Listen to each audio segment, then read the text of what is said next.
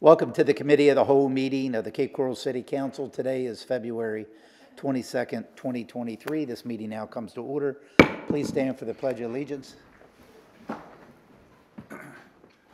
I pledge allegiance to the flag of the United States of America and to the republic for which it stands, one nation, under God, indivisible, with liberty and justice for all.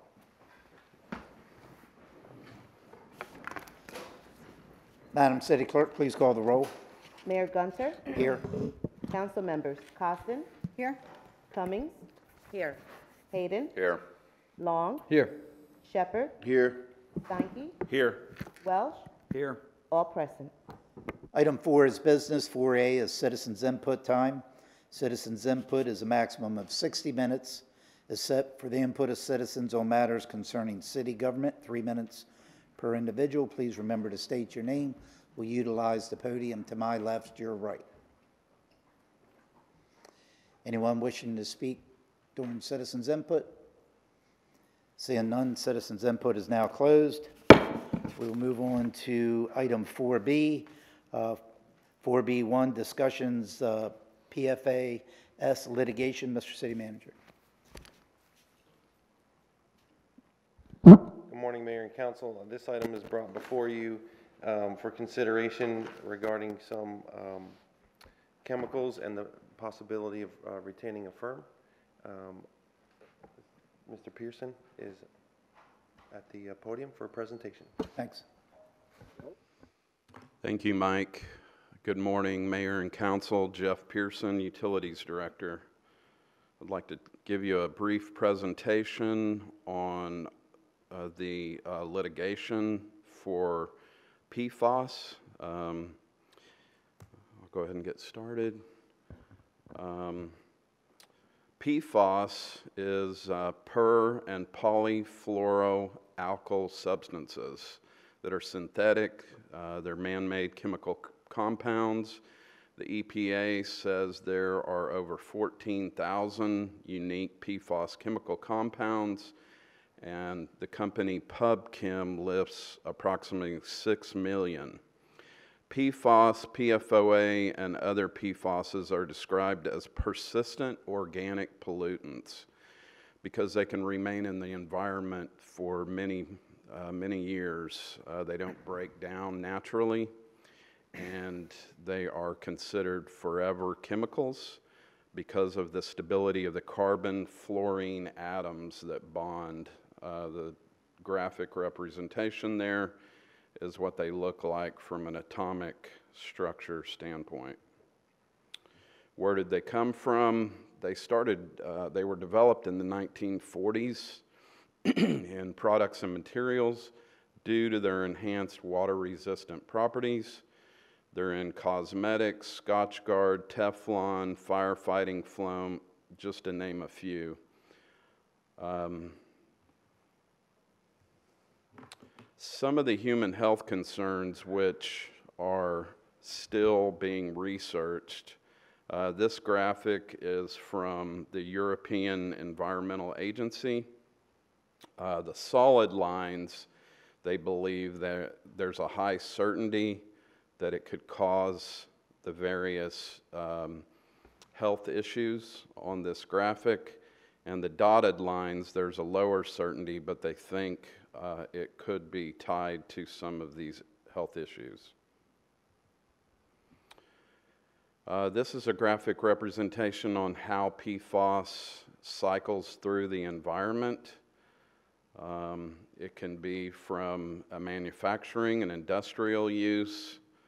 Um, in the agriculture area, they can reuse uh, biosolids by land application of wastewater sludge, and that can leach down into or uh, into the aquifers or run off into surface water bodies.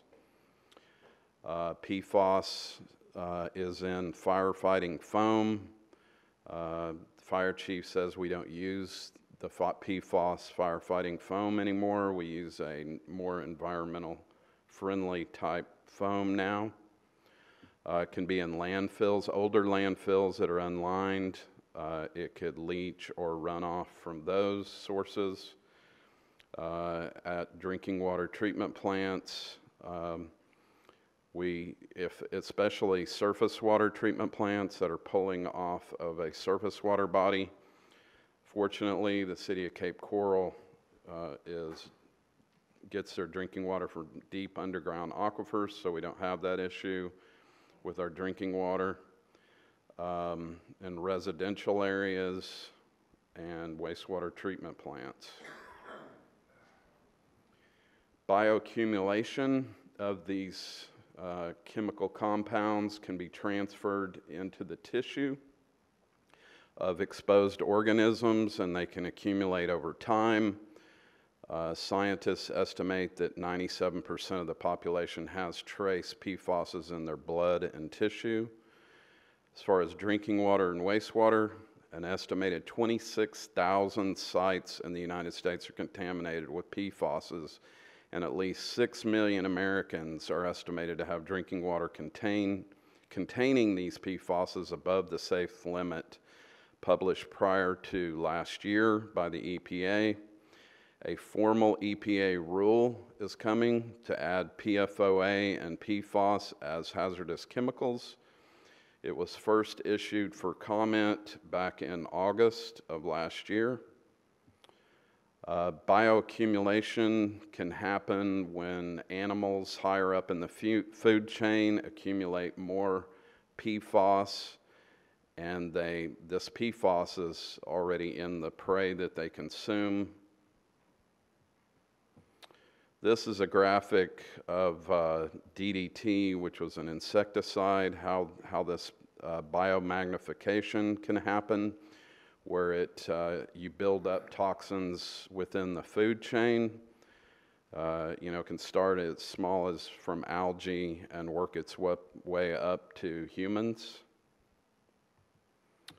Some of the remediation solutions include uh, sorption, granular activated carbon, biochar, ion exchange, precipitation, floc- flocculation, and coagulation, which is primarily used at surface water treatment plants, uh, redox, membrane filtration, reverse osmosis, nanofiltration, and supercritical water oxidation. All of these remediation solutions are expensive and uh, would require significant infrastructure. You may ask, is it in our drinking water? The answer is no. We get our water from deep underground aquifers that are considered to be over 10,000 years old. We're actually mining that water. And we also use the RO, which, if it were in the water, it would be removed. Um, also, uh, it could be in our surface water sources, such as our canals, and could be detected in shallow aquifers where private wells are tapped. There's ongoing PFAS litigation. Uh, It was filed in U.S. District Court of South Carolina and includes more than 100 communities throughout the country as part of what is referred to as the aqueous film forming foams multi-district litigation. South Carolina has been designated as the central location for all proceedings for many of the claims. Uh, The reason why we should potentially join the litigation is that the EPA could uh, publish rules that would, could potentially cost us millions of dollars in additional infrastructure to remove and treat these PFAS tainted water.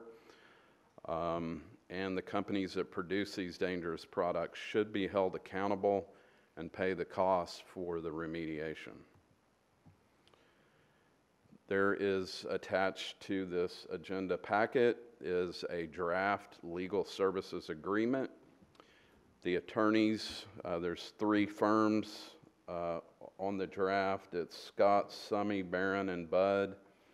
PC, Phil Cossich, Cossich, Sumich, Parsiola, and Taylor LLC, and Manson, Bolves, Donaldson, Tanner, PA would be the firms if council decides to move forward on a contingency basis to join this litigation. And I stand by for any questions you may have. I also have one of the um, uh, firm owners, Laura Donaldson Jacobs, Laura Jacobs Donaldson, here to answer any questions that you may have about the litigation and the draft agreement. If you want to proceed with um, bringing this to a regular council meeting and joining the litigation. Thank you. Uh, Just a couple questions for me, real quick. Um, Item number seven under the service agreement, attorney fees. Could you talk about that a little more? Uh, You know, the calculation of a contingent fee. Uh, It says in here, attorneys will receive a contingency fee of twenty-five percent of any gross recovery.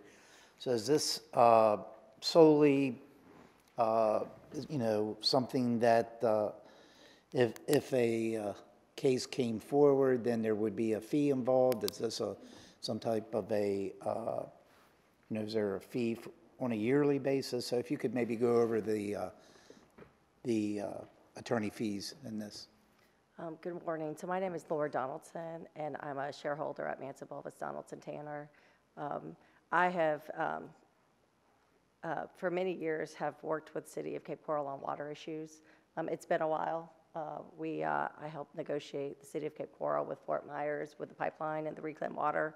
And so over the years, Jeff and I have kept in contact about different issues. And so when this issue came up, I was like, hey, Jeff, have you guys looked at um, your PFAS issues? Because some of my clients have been surprised about PFAS in their water and wastewater. And um, so I just wanted to kind of give some background that this is, um, uh, I have done some legal work for the city of Cape Coral in the past. So it relates to the contingency fee. It's 25%. So right now, the way that the, so the, let me go back. So the, there's hundreds of cases that are filed across the, the country, and they're all in um, Charleston. And so we've just seen the first couple of them are starting to be settled because the first case is going to trial this June. And that's the, the federal judge picked, out of all the cases of the entire country, picked the city of Stuart down on the east coast of Florida. Um, so what is being envisioned as part, of, and they've been doing mediation. Um, I'm a lawyer. I've paid mediators before. It's $85,000 a day for a mediator um, on this issue because it's so complex. So what the settlement that's occurred so far, because we don't really know what the settlements are going to look for, there's going to be ongoing costs. This is not just increasing, like putting infrastructure in and it's a one and done. Um, They are looking at increase, um, ongoing increased costs over 20 years to operate the system. So if for the city of Cape Coral, if you have PFAS um, in your wastewater and your treat, your facility, it's gonna cost $20 million to upgrade, and then it's a million dollars more to operate that system because of this upgrade. So the 25% contingency fee would be based on the collective of everything that the city would be getting. Okay. And uh, one last quick question. Uh, Have we did an analysis to see if that is existent, uh, Mr. Pearson, in our, in our wastewater? No, sir, we have not, um, but it's highly likely that it is. Um, We, we had to test under the unregulated contaminant monitoring rule our drinking water, and we did not find it. Um, But there's a high likelihood if I were to go out right now and pull a sample, that we would find it. Okay. Councilmember Steinke? And, and could I just add real Yes. quickly, sorry, um, it's everywhere. Like, if you got your blood tested, you would probably find one of the chemicals in your bloodstream. I mean, this chemical is everywhere, and I know that we focused on the utilities, but I have a fire district that we have filed lawsuit because, um, the manufacturers of the phone would come and do testing at our site in a stormwater pond. So we, I mean, it's just, it, it is everywhere, unfortunately. Um, I will say, because I have told my clients, the city hasn't done anything wrong. There's currently no regulatory limits. Um, I think that's something that's really important. But uh, to put things in perspective, last summer, the health advisory level was 70 parts per trillion, which is seven drops in an Olympic-sized swimming pool. And now it's down to 0.004, which isn't even a single drop of PFAS in a swimming pool. Okay, Councilmember Steinke? Thank you. So um, I am fully supportive that we should uh, be protected in this for uh, the potential, you know, financial impact uh, on any future regulations that are brought or uh, in in requirements to uh, clean up anything that we're required to clean up. So I- I fully support it. I do have a question uh, in 7C when it talks about reasonable fees, um, if the contingent fee is unenforceable. Obviously, reasonable uh, is a subjective term. Could you give us some type of framework around what that could or should look like? you know, because I don't, we don't know what improvements will be required for the city, and if you have any soil contamination related to any of your fire training facilities, I can't really answer that question. I can get um, one of the attorneys who's settling these cases um, to provide you a response if that works for you. Is there, is there a uh, reason why uh, the contingent fee would uh, be unenforceable? And I'm, s- I apologize, uh, Mr. Mayor, if I should be going through, uh, out of all the years I've done legal work, this is the first time I've actually been to a um, council meeting. Um, Welcome. I, I was telling Mr. Pearson, I thought I was lost because all of a sudden this beautiful building showed up and I'm like, oh, okay. Um, now I know all the years uh, with this stuff. The, um, this is a standard contract that's being used across the state, so every state has different regulations, and so that's why that provision is in. Um, Historically, 25% um, is found reasonable. In Florida, it's deemed to be reasonable, Um, but it's just a standard provision that's in contingency contracts. Because Okay. the law could change too, right? Um, So, so my final question then would be to our city attorney. I- Is this something that uh, we as a council should be concerned about, uh, 7C? I think it's something that you should be concerned about and really be looking into participating in. Um, No, my, my direct question was in, in, in regard to um, reasonable fees um, that are unenforceable, that's not defined, and there's no cap on them. Is that something that we should be concerned about entering into this agreement? I don't think so, no. Okay, thank you. Any other council members? Uh, Just one last question for me. I know we have about 411 uh, municipalities, townships, or villages here in Cape Coral, about 67 counties. Uh, That's just in the state of Florida.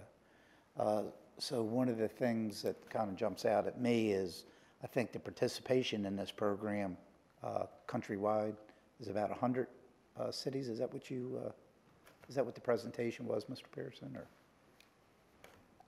I, I can answer, it's Okay, actually or more. if you can answer that. Yeah, I can, so it's more, it's growing every day. I, so this litigation's been going on for four years.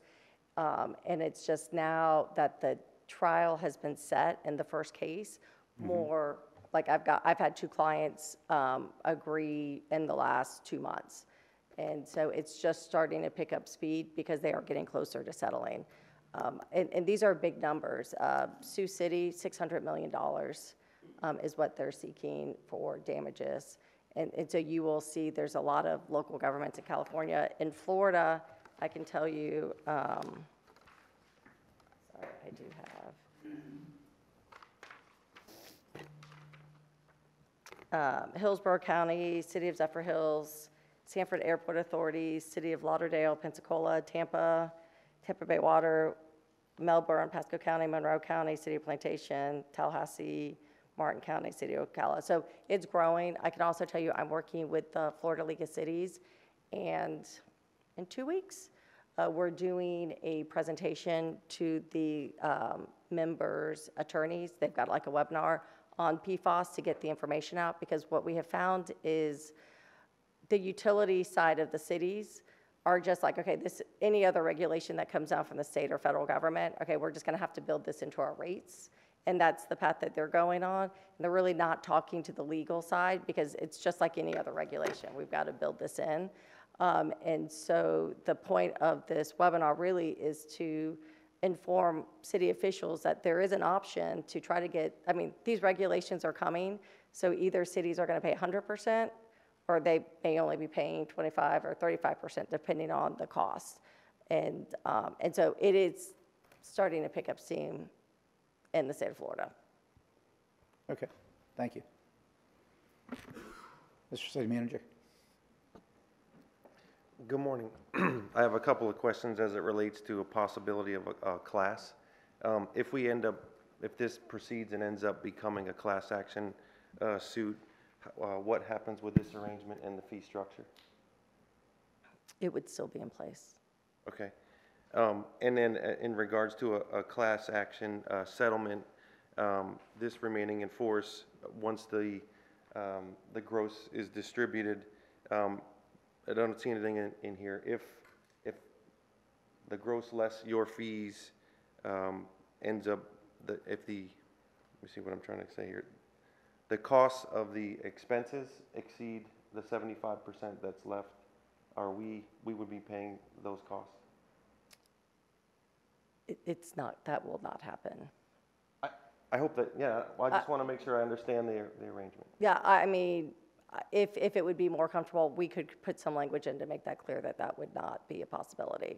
I mean, the intent in talking to, so I've been just recently added to part of the team. I haven't been dealing, um, I've been working on the state legislative and regulatory side of it, not the litigation side. I am, um, and so, but I can get that clarified and add some language for you on how they would, um, because my understanding is that their goal is that every client is getting, you know, a subs, is getting at least 65 to 75% of everything that they need. Thank you. Councilmember Hayden? Yeah, I, no issues with we need to be protected on this, but are there two separate things at work here? Those that uh, may file suit against a particular city because they're claiming they developed a serious illness from uh, PFAS?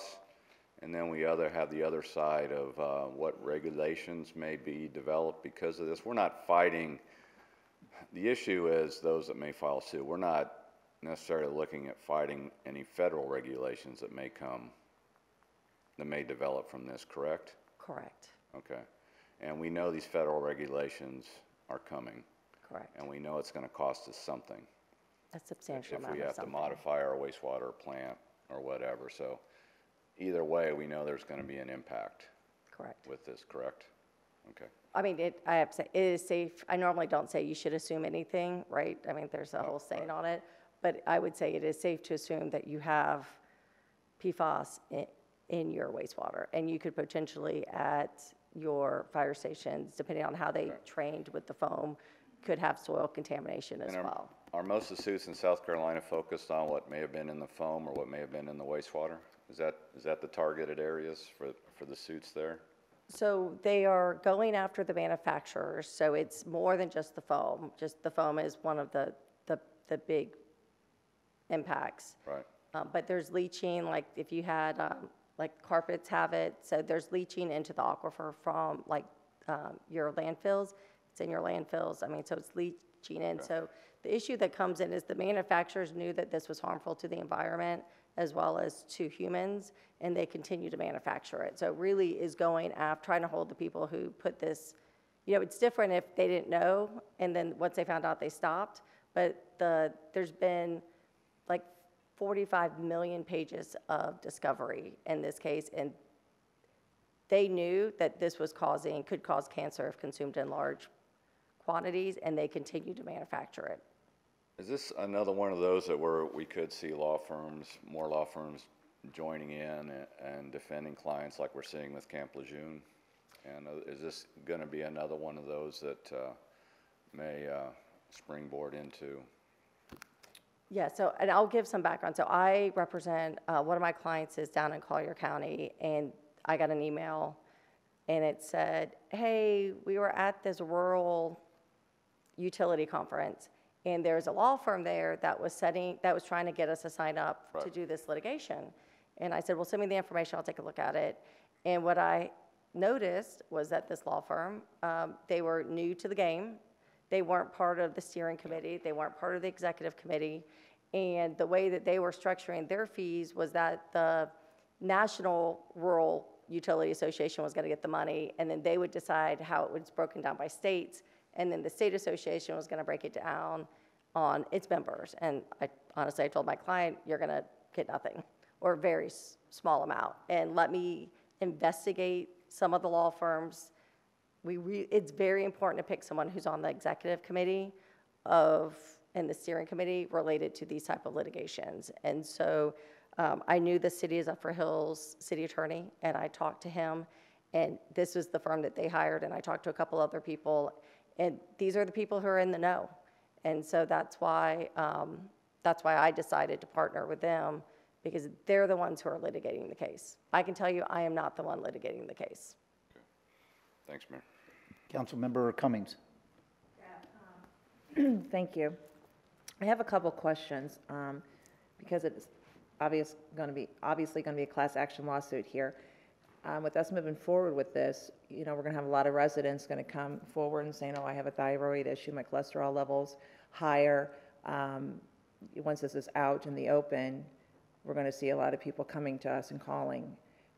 Where are we going to refer them to? So if you have residents coming forward with a lot of these symptoms that you put out there, uh, what are we going to say to them? And who do they call to put their name on the list? Would it be your firm? So um, I can get that information. I know that we're focusing on utilities and companies and really, but there are law firms that are doing it from a personal injury standpoint as part of it. Because this is going to open up to the public. So I, I would like us to be prepared for that. The other question I have to ask too, um, with this, are we having to pay for this? Or is this something that is going to be waived until uh, we win this lawsuit? I mean, how, how is this working? Um, So it's free. Okay. And like um, Mr. Pearson asked me, how much was it going to cost? Because I, right now, my firm, we have a, a matter that I could charge to. You're not being charged for me coming down here. I mean, this is a contingency basis. If we're unsuccessful, um, you don't pay. Okay, I, I just wanted to clarify that, that's, that's what I thought. Um, so with, you know, I'm all for this as well, uh, but I feel that we will need to have further information that we can put up on our website, so if people want to contact us, you know, they're not calling us individually on what to do. I've got symptoms, um, I've been in and out and seen the doctor, all of a sudden I have cancer, could this pertain to this case? If, if there's a way that you can help us direct the residents on who and where to go for this type of information. Uh, We can do that. I, I, um, the firm, uh, we have a a press release that could be provided to your PIO, um, as well as the other information. I can tell you that, um, so, a few years ago, so, uh, Mr. Pearson talked about the uncontaminated, um, un, the UCMR, which is a testing that you have to do by the federal government.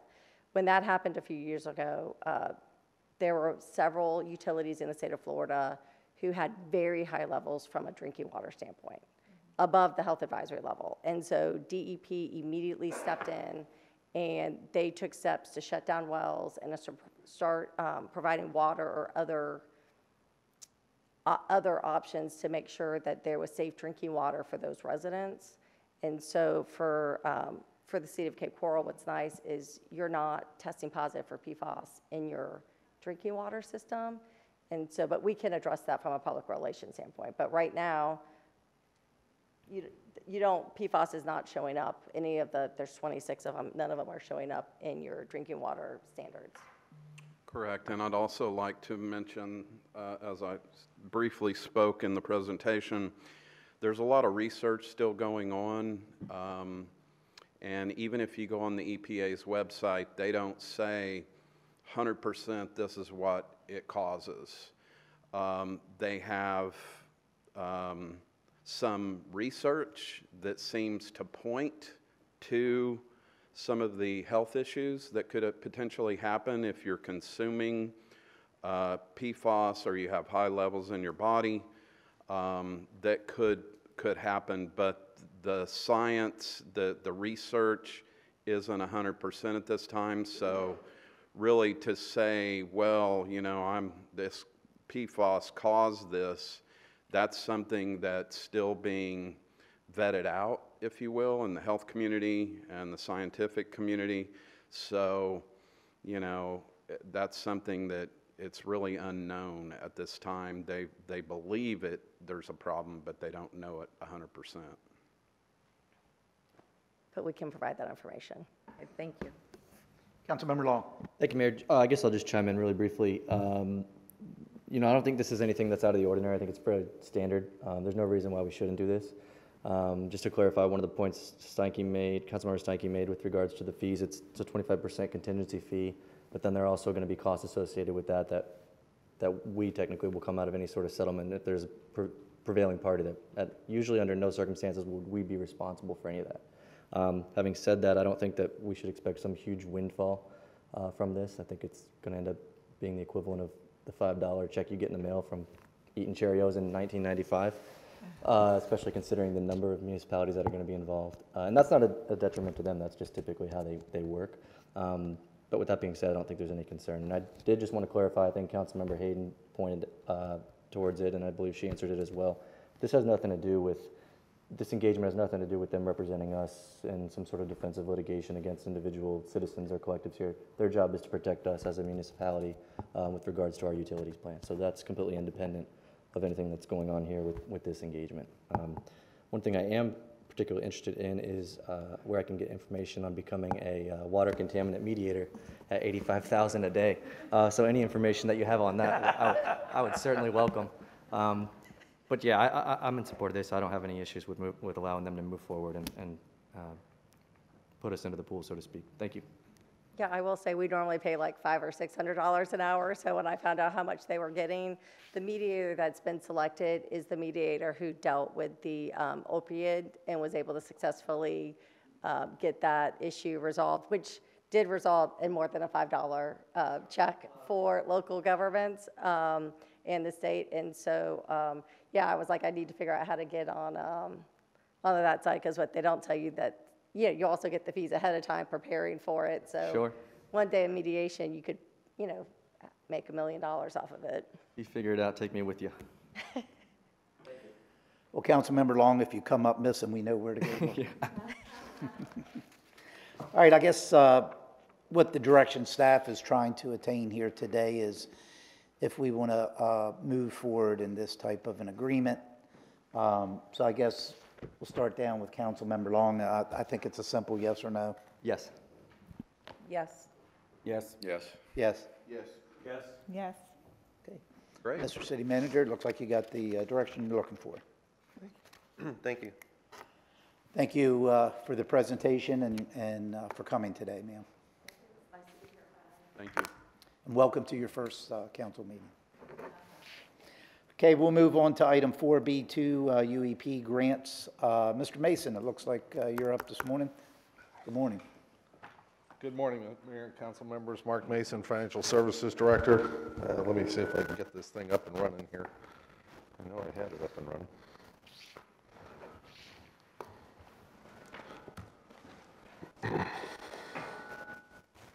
Is there feedback? Feel like when I'm breathing, it's, it's doing something.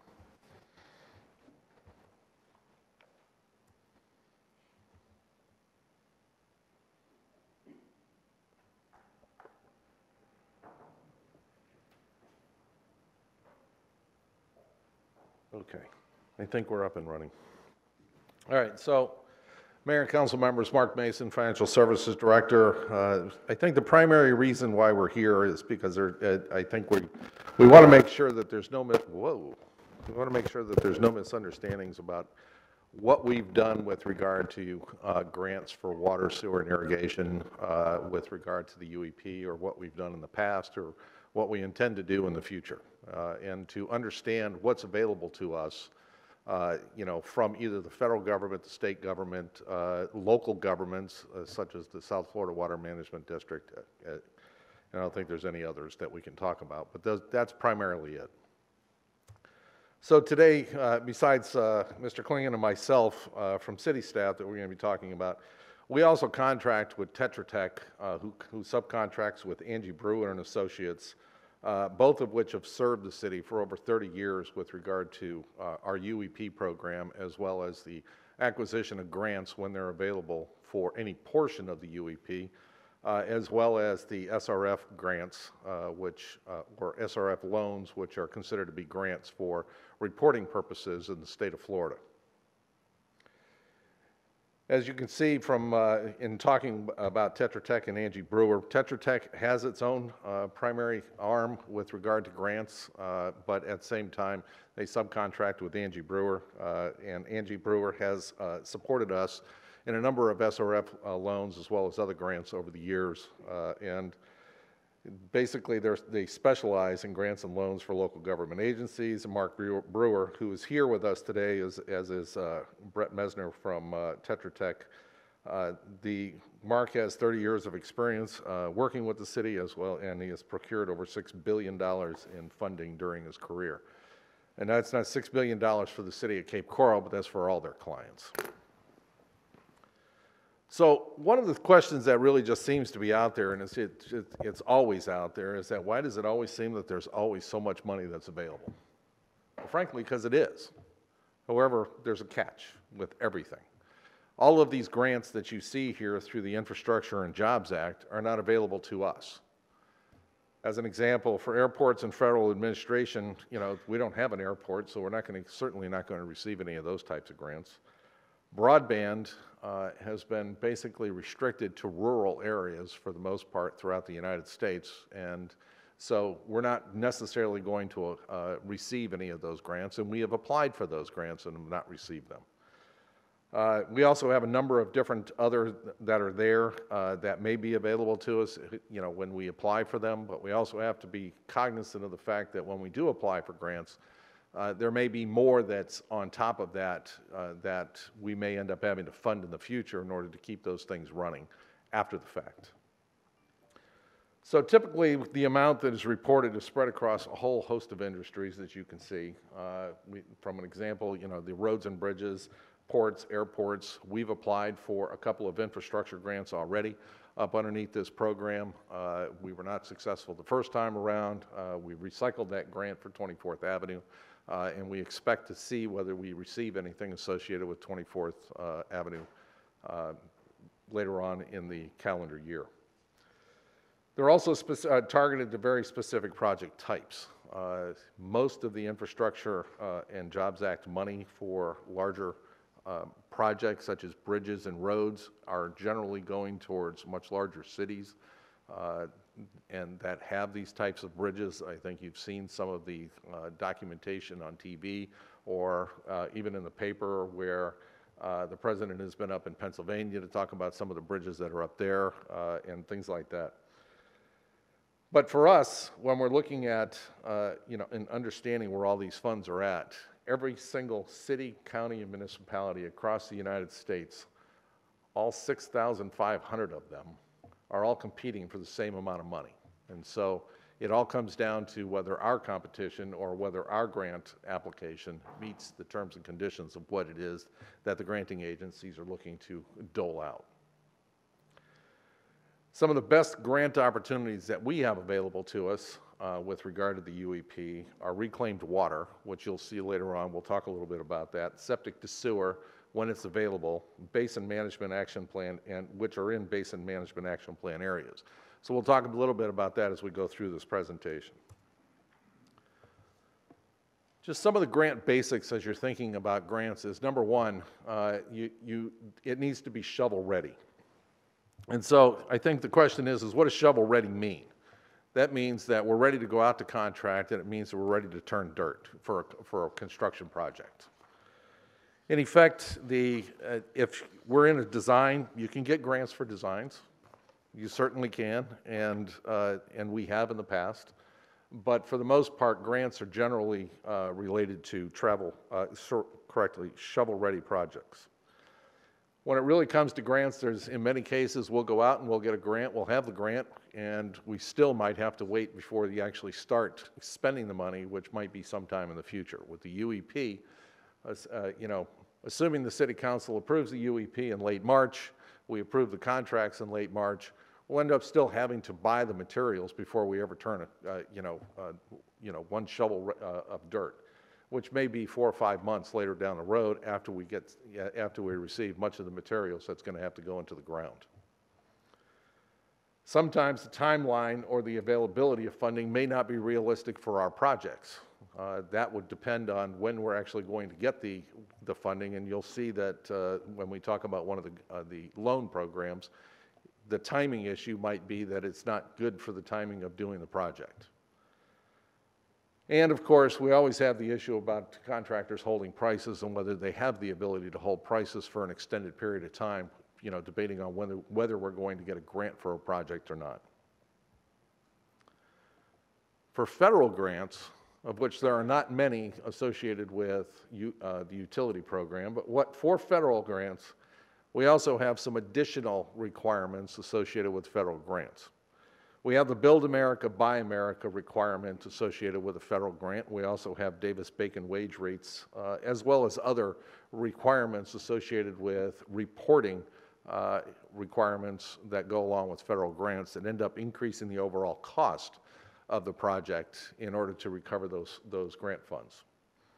So Build America, Buy America essentially requires that for, if you're going to use financial assistance, you're required to purchase all your steel, uh, iron, manufactured products, and any construction material used in the product, project, uh, sorry, project, uh, you know, must be produced in the United States. So there may be times when you're out there getting a federal assistance grant and you find that, uh, you know, some of the products that you're looking at trying to procure may not be available within the United States. And so then you also have to go through waiver potential, potential waiver projects uh, for those type of projects. Or from a timing standpoint, the timing of actually receiving the grant and being able to do the project is dependent on the, the, the materials to be able to do the project. In addition, on the Davis-Bacon wage rates, uh, this is a requirement uh, that the Department of Labor is required to publish these rates, but essentially, if you're going to receive financial assistance, you must pay the laborers and mechanics no less than the locally prevailing rates or wages and fringe benefits for corresponding work on similar projects. So when you're doing a utility project here, you know, we have other utility projects that are not funded associated with a grant. So they would aggregate that information, make a determination of what the prevailing wage rates are. And for whatever that future one is, is that you would have to pay that rate or any higher rate. And so what ends up happening with that is that it's like a, a stepping stone. It ends up increasing the cost over, uh, over time with regard to federal projects, whereas if you're not funding it with a federal grant, the cost of labor may be less.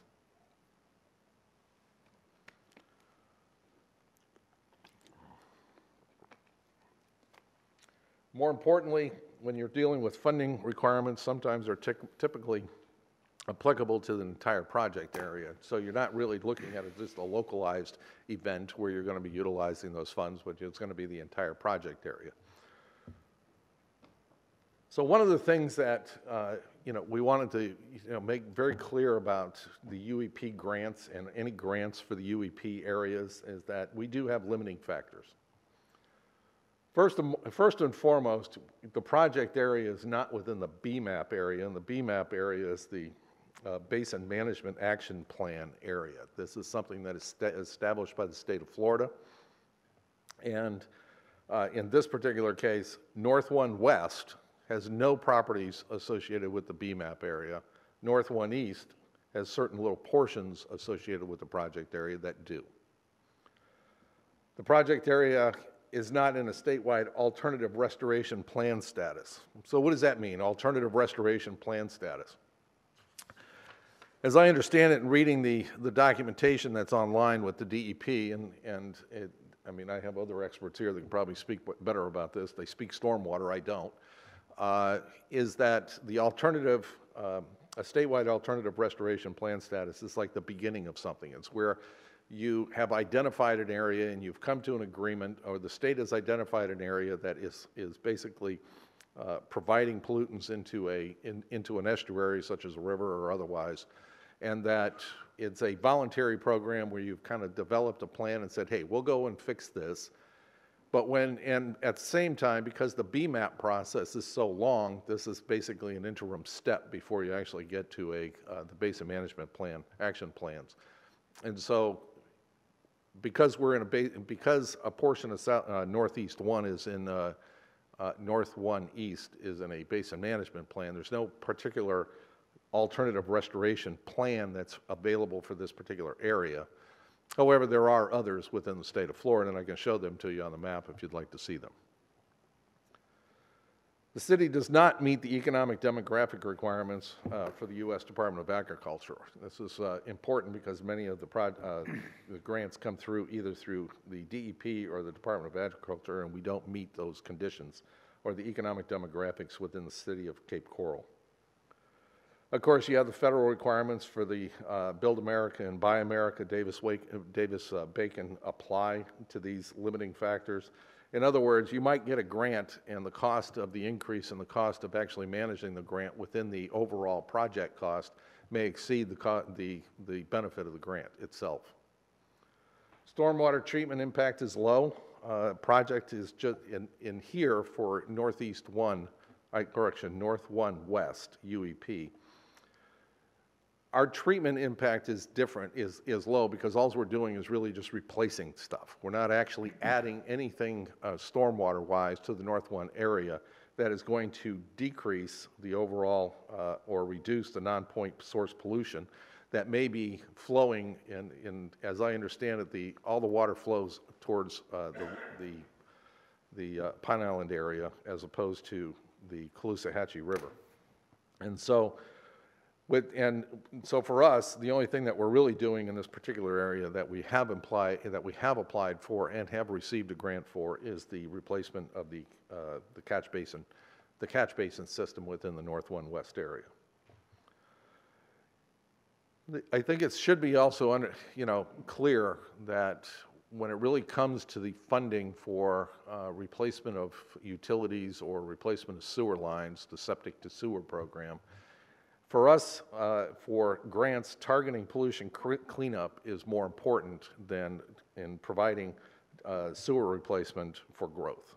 And so, for us, much of, uh, you know, what we're, you know, supporting the UEP is, is to allow for continued growth.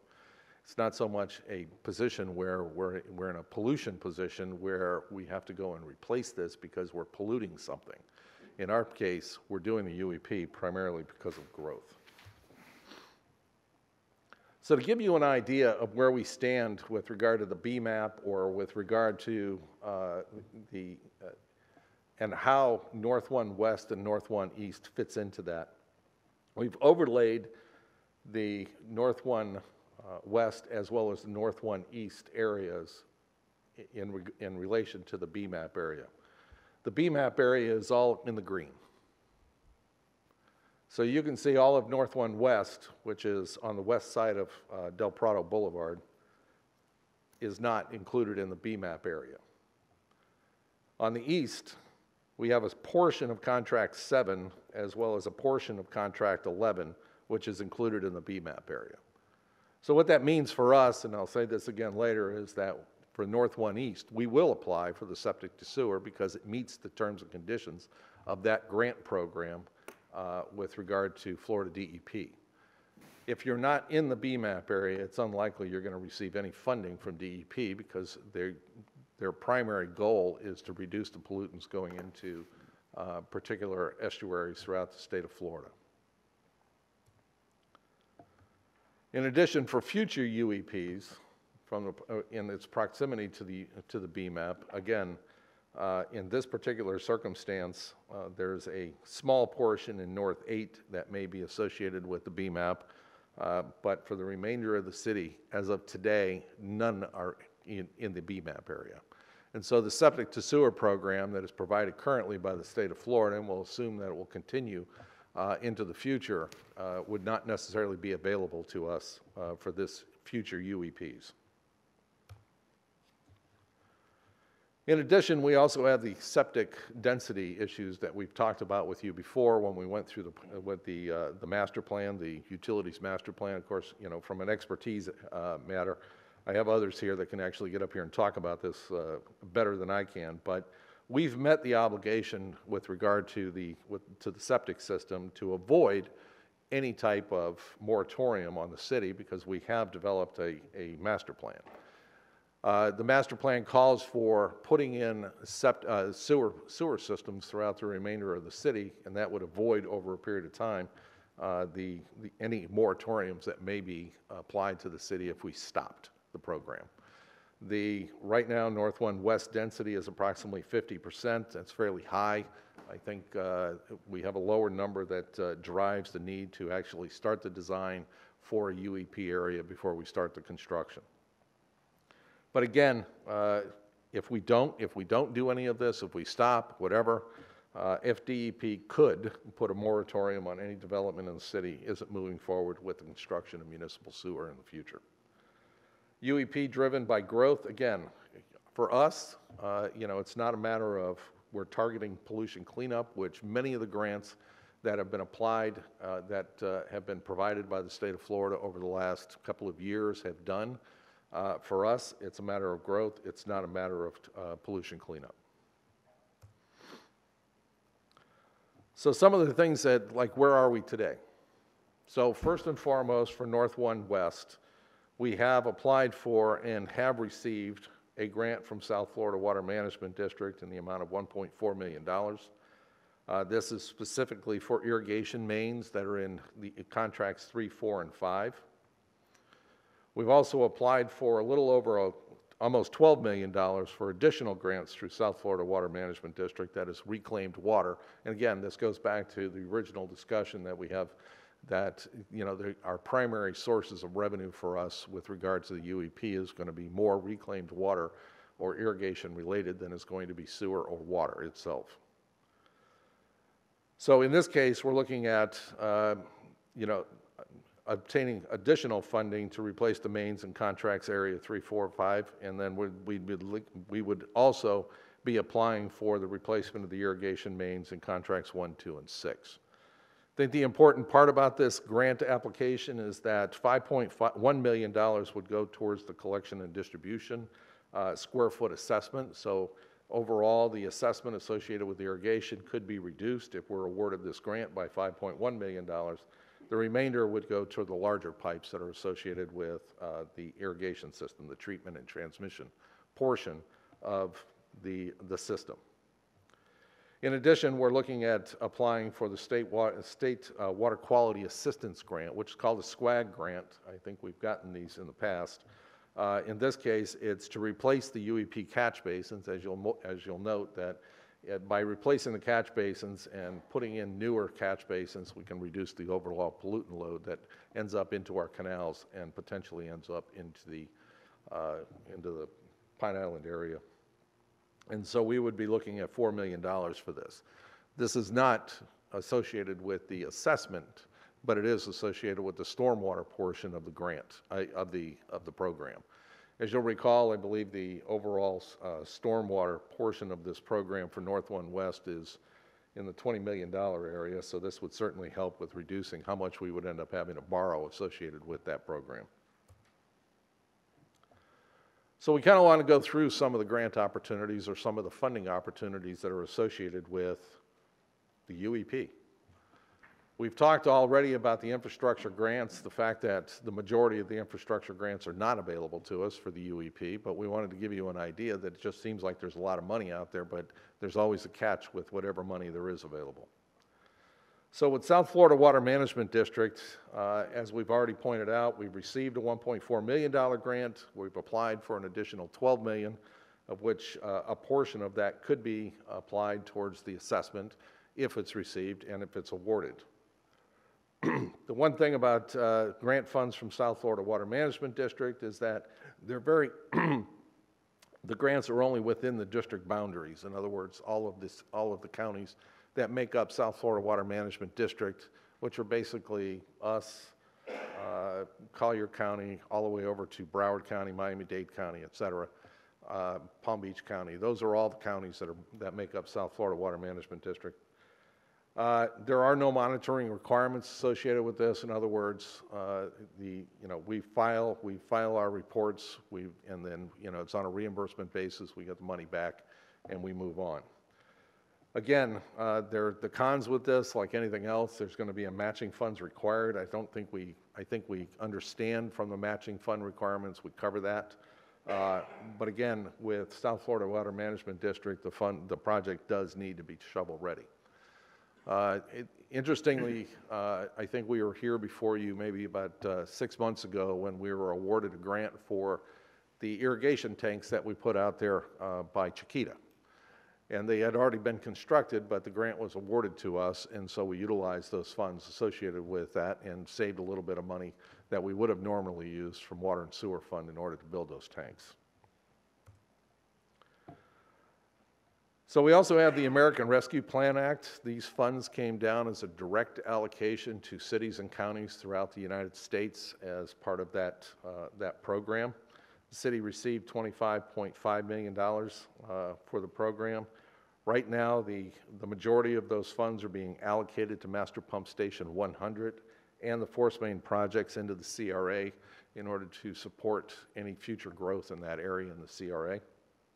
Any funds left over will be applied to whatever additional uh, sewer projects that we will have, uh, you know, associated with the, uh, at least that's, we recommend that, uh, that we would utilize those funds for any additional sewer projects that we may have. We looked at utilizing these funds, whatever might have been left over associated with this, but since we haven't finished out or haven't bid out, we, we did bid out Master Pump Station 100, we got a bid back, we rejected the bid, we're going back out. We don't know exactly how much we're going to have left over, but we did look at applying about $6 million of these funds to the program associated with the utilities, and uh, it would have been associated with one uh, contract area. And if we had gone back out for bid associated with all of the Build America, Buy America for that contract area, as well as the, uh, the wage rates, uh, et cetera, the cost of the increase in the, of rebidding, as well as the cost of what I just identified, would likely have taken up probably about four to six million dollars of that grant. So we really wouldn't have changed anything associated with the assessment area for that area. So the pros, uh, I, and you know, when you're talking about a $200 million project, your grants need to be fairly large to have a material impact on your, on your program. So the pros associated with the ARPA is that communities can decide where to allocate the funding. The no application project was, process was required, and there was no matching funds that were required associated with it. The use, uh, again, must comply with any of the program requirements, and of course, the federal requirements of Davis-Bacon and any form of BABA uh, may apply associated with that grant. In addition, you have Section 319H grants. Uh, This is specifically to reduce non-point uh, source pollution, i.e. runoff, any precipitation, drainage, et cetera. This is more of a stormwater type grant than it is a, uh, an irrigation, sewer, or uh, water grant. Uh, It's very limited funding. It's a very small number that's available throughout all 67 counties. Right now, the uh, for the most recent year, it was $6 million. Generally, they put about 5 to $11 million for the entire state. Uh, The average grant award for the most recent, uh, for the most recent awards was $300,000. Uh, When you're looking at our 24, mi- 20, $20 million stormwater project, if we had received any funding, it probably would have exceeded uh, the cost of, of actually um, managing the grant itself. And this is, uh, it does fund septic to sewer projects. Uh, It, uh, the federal funding requirements will apply because the Section 319H is a federal funding grant. But it is fairly small, and it's usually small, used, used by many communities for very small projects. We also have the Protecting Florida Together wastewater grant program. Uh, I think you'll probably remember uh, or recall, uh, they just announced all of these grants, $240 million that the governor announced that he awarded uh, throughout the state of Florida. Uh, These, again, are the grants that are associated with the BMAP area. And so for us, uh, having applied, if we had applied for this, it's unlikely we would have received any because there would have been no funds that have been, we weren't in a BMAP area associated with North One West. We will apply for this grant next year uh, as we get ready for shovel-ready project with North One East. We also have the state revolving loan program. We've used that here in the past. Matter of fact, all of North 2 and I believe Southwest 6, 7 was funded uh, through the uh, stormwater, uh, the the SRF program, the state revolving phone uh, program. Now, when North 2 was coming around and and 6, 7 was coming around, you were in the depth of the, the the recession, and there wasn't a lot of projects going on in the state of Florida, and so there was, there, there had been built up a lot of money uh, associated with the SRF program. Today, that is no longer the case. In fact, there's a block grant that generally comes down from the, from the feds annually for the SRF program. When the, when the feds uh, approved the Infrastructure uh, Act, they replaced the SRF funding with the infrastructure money, money, so there was no add-on to the SRF program like you would, what we were expecting. And so in speaking with SRF about that matter, you know, they had, they had told us basically that the floods, feds had just simply flipped the money and said they're going to utilize the SRF for something else, and then the infrastructure would just take the place. Today, there's basically a $20 million cap, cap on both programs, and it's very competitive throughout the state of Florida. Many people are using it right now.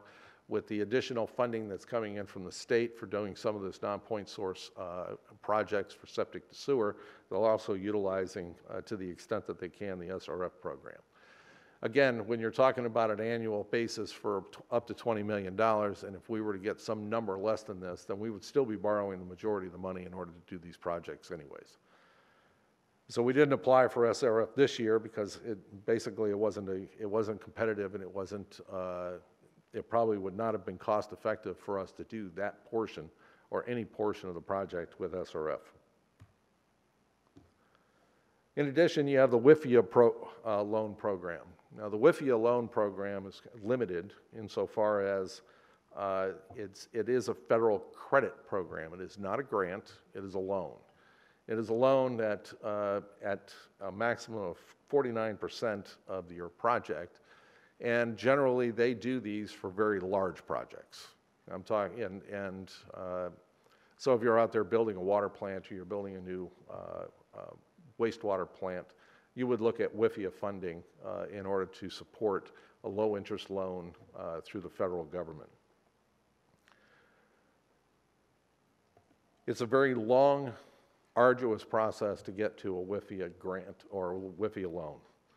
Number one, you have to start out with a letter of interest. It requires six months to prepare it, and you know, and, and all the supporting documentation, et cetera, et cetera. It goes to the feds. You usually have to pay an application fee in order to apply for it. Again, the funding is limited to 49% of the overall project. 51% still needs to come from somewhere else. There's also a credit processing fee due at the execution of any loan that you might take. Uh, 80% of the maximum total amount of the, of, of the entire project can only, can only, can be federal funding uh, if the WIFIA is involved with it.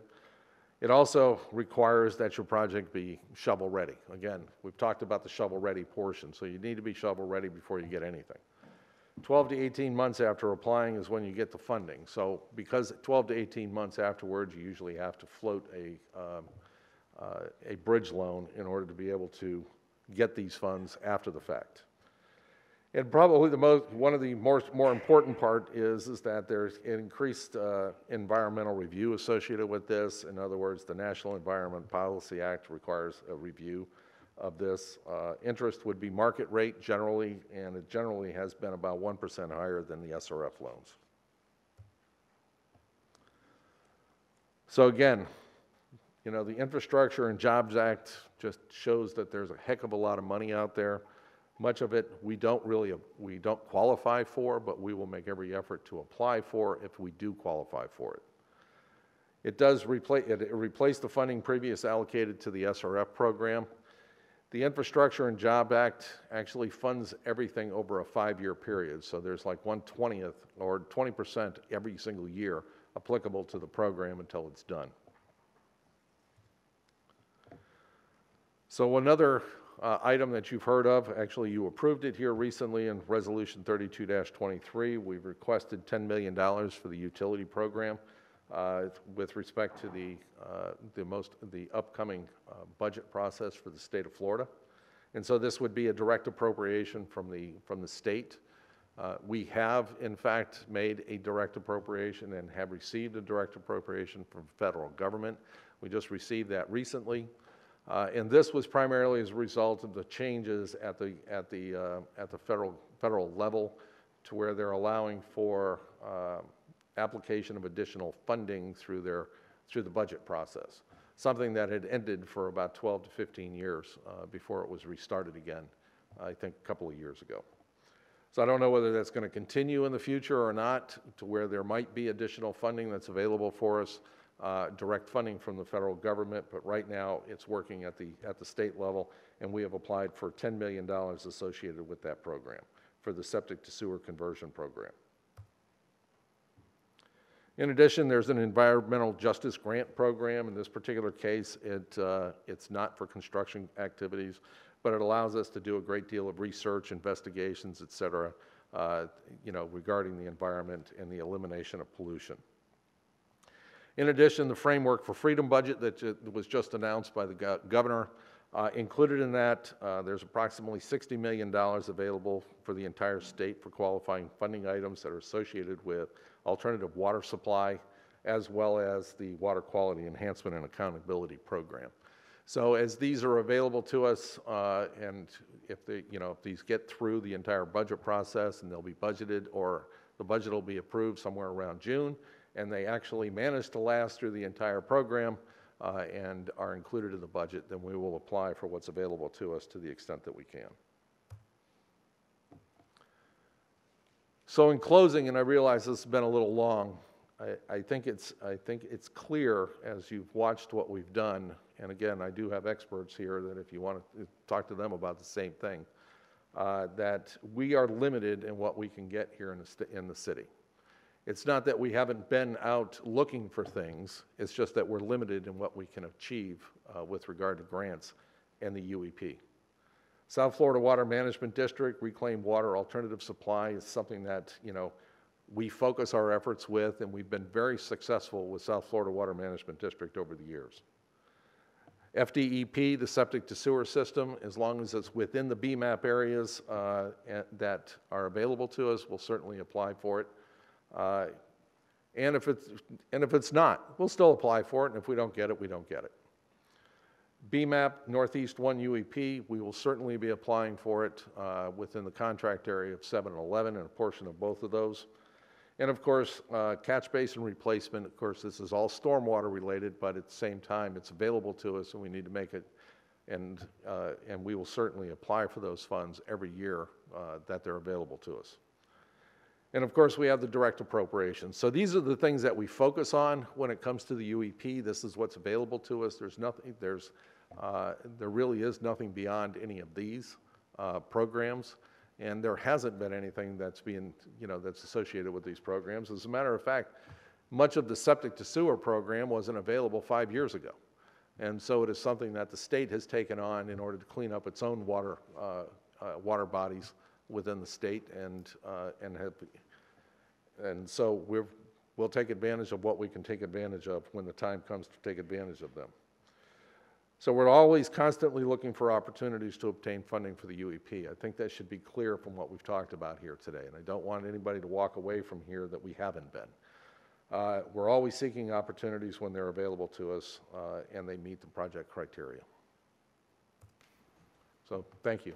Sorry it was so long, and I realize it was, but I thought it was important that we get this out uh, for everybody to understand what we've done with regard to grants in the UEP. Thank you. I'll get ready to open the floor, but before I do that, Mr. Mason, if you could uh, reiterate exactly what the definition uh, that you think shovel-ready means. You know, is that just the design has been completed? So I just want to make sure we got a clear understanding of that, because I think it's very uh, important with a lot of these uh, different grants that are, that are out there. I do have an answer for that. Hold on a second. I actually wrote it down.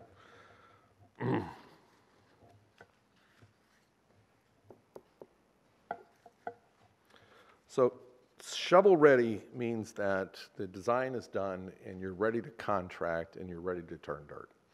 So either you already have a contract in place and you're ready to turn dirt, or the design has been completed and you're ready to go out and contract for the work. So that's what, basically what shovel-ready means. So I would take that as the design has been completed, and we have either already issued a RFP, uh, or Or we we're are getting ready to issue one. Or we are beginning to issue a RFP. Yes. Okay.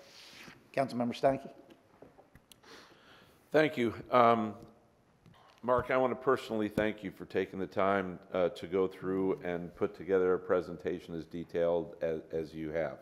These guys helped with it, and I want to make sure So that they thank you are- to everyone all- involved with it. Um, I They think were it's all really part of it. important that, that we understand uh, as a council that all efforts are being taken uh, to minimize the impact uh, on our citizens as we uh, continue to expand the utilities available uh, to them.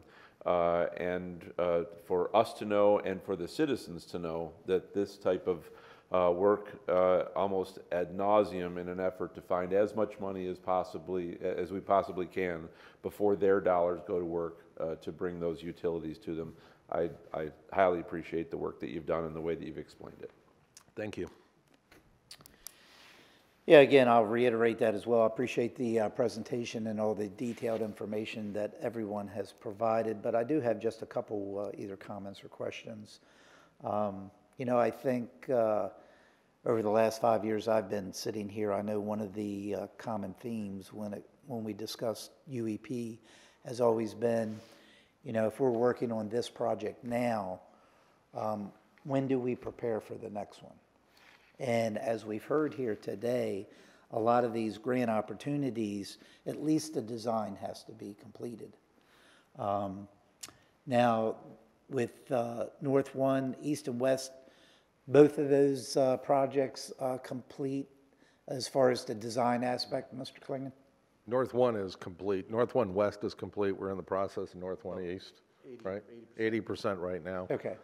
For North One East. And the reason that I ask that is because we have to make sure that, you know, we look to the future um, to see what's available for any type of federal dollars or state dollars out there. So I think it's very important for us to be proactive. Um, I, I personally believe, uh, once we're done with North One, East and West, then we are looking to the next phase uh, and start that design. Of course, we don't, we don't know what type of uh, grant opportunities will be out there until we get there, but we know we probably are going to need the design completed. So I think that, uh, you know, we need to be proactive uh, to make sure that, uh, you know, we take advantage of anything that may be out there at the time. Um, The comment made about the different types of uh, uh, federal requirements. I know with the uh, federal government, I've been on a couple federal jobs myself on a smaller scale.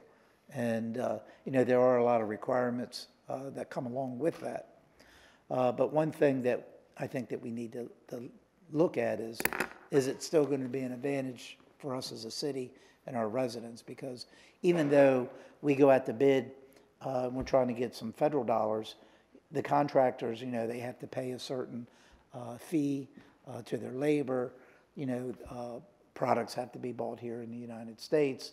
Uh, That's all well and good, because the grant may offset the additional expense that we're going to have. So I think that's very important uh, to mention as well. And of course, we- would have to look at that on a case-by-case basis. Uh, I would like, uh, as Mr., uh, I can't read my own writing, um, the gentleman that we've used for the last 30 years, um, as far as uh, Mark Brewer, Brewer, that's it. you want, Yeah, I just had a quick question for him. Sure. Uh, It sounds like you've been in this uh, field for uh, a long Since I was period a of time boy. here. I'm just I guess my question to you is, um, is there anything that we should be doing, in your opinion, as a city, moving forward? Do you have any recommendations for us, looking, looking to the future? Sure, and some of those the city already does. Um, When we talk about the continuum of, of a project, the, the point we like to learn about the project is what I call the paper napkin stage, when you're just thinking about it. Because what happens is, as you, as you flow through the, the project, uh, the process of, even through design, inflexibilities and schedule constraints begin to limit your opportunities. So what we try to do, and we've worked with Tetra Tech for a long time to do this on, on many projects, is identify fundable elements of projects and make sure that if, um, like for instance, we talked about the catch basins. I'm not an engineer, so I'd have to rely on them, but essentially, some things can be modified because that inflexibility or those decisions haven't already been made. So I think that number one is always look at the opportunities throughout the entire process. Because from year to year, different programs come and go. Some of them, they just change the name. Some of them, they actually have different um, desires to put their money behind. And so we are on top of that on a regular basis. That's, that's what we do. And so our job is, and I believe our mission is to help projects come in at the lowest total cost of delivery. So when we evaluate a grant or a funding opportunity, we're not just looking at, oh, that's half a million dollars or that's $20 million. There's a lot of times the interim uh, requirements are, um, need to be evaluated, but there are also sometimes reporting requirements well into the future, like in economic development projects, things like that. Those requirements can go on for a decade. And so the cost of the entire process is what we evaluate beginning at the beginning and try to drive that. The other thing is, is that, and I've encouraged hundreds of communities to do this, um, and to date, nobody's wanted to do it, but it's my recommendation that rather than wonder what the market is going to do when it comes to a bid, is to use a bid alternate without the requirements to actually determine what the real cost is. And so the, the importance there is being able to say in the marketplace that it's not something we just dreamt up or did a, uh, a cost estimate. In fact, getting responses from your bidders saying, with the requirements, this is the cost. Without the requirements, this is the cost. Here's the, here's the really important thing. For, in the past, Buy American, Buy America, American Iron and Steel, there's been different flavors. BABA is all of that on steroids, in my opinion, the new Build America, Buy American.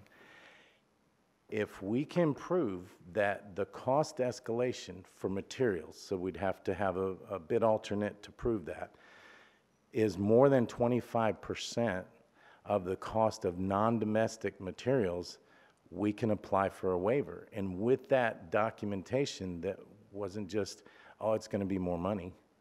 In fact, being able to prove that would, um, you could actually waive the requirements completely. And that could change the entire makeup of whether that cost or that, uh, that grant opportunity is legitimate or not. I mean, if you think, on average, uh, I've had suppliers tell me, oh, th- those, getting that non-domestic, or uh, getting that domestic is going to be 40% more. I said, fine, prove it. Send me, send me your price list. Yet has anybody sent it to me, but I'm hoping for the day that we can actually prove it in the marketplace and be able to go back and say, we want to waive those requirements. I'm all about Buy American, don't get me wrong. I think, you know, all of our stuff around flexibility and availability and not having cost escalations. I mean, the market has changed in the last couple years so dramatically that by the time a cost estimate is done, it's wrong. So we're trying to find ways to, without really doing a lot of extra work, find that answer so that we can prove out that it's real. Um, Davis Bacon, honestly, most of the time, the, um, the additional cost is in contractor administration. And I'll just say this publicly, whining on their part to do the paperwork because they love to build stuff and get paid. They hate paperwork, and we try to help them kind of make that easier. But, and then on the other side, it does cost money for the city to monitor that. But it's a, it's a fraction, it's not even a fraction of a percent of the cost. Generally speaking, if you talk to any contractor, because I talk to them on a very regular basis, if they're not paying more than the prevailing wages right now, people are not showing up. So where it was, and it was, and in fact, um, we tested the theory here at the Everest plant many years ago. Um, the Department of Labor had established rates where everything below I-4 was aggregated. And so the union rates on the other side of the state were actually applied over here. And we helped make the case to the Department of Labor on behalf of the city of Cape Coral that that was not legitimate for the prevailing rate in this area. And that was approved to be able to use that. So those are the things that it's okay to test the system, but you have to have real information. And I do think that by and large, um, the, the city's ability and the folks that we work with that work for the city that are involved with grants is very high caliber compared to most of the communities we have. We're not, we don't file every application that gets filed.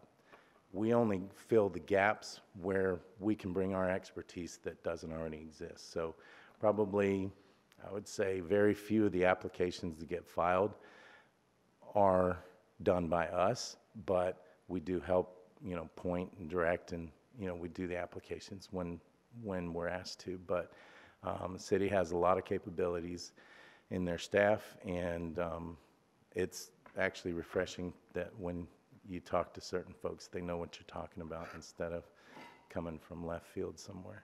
Um, so I do think, time back to your question is, I think start early and be continuous in looking at the entire process. And before those inflexibilities and schedule constraints come into play, try to drive the projects towards eligible activities if that makes sense.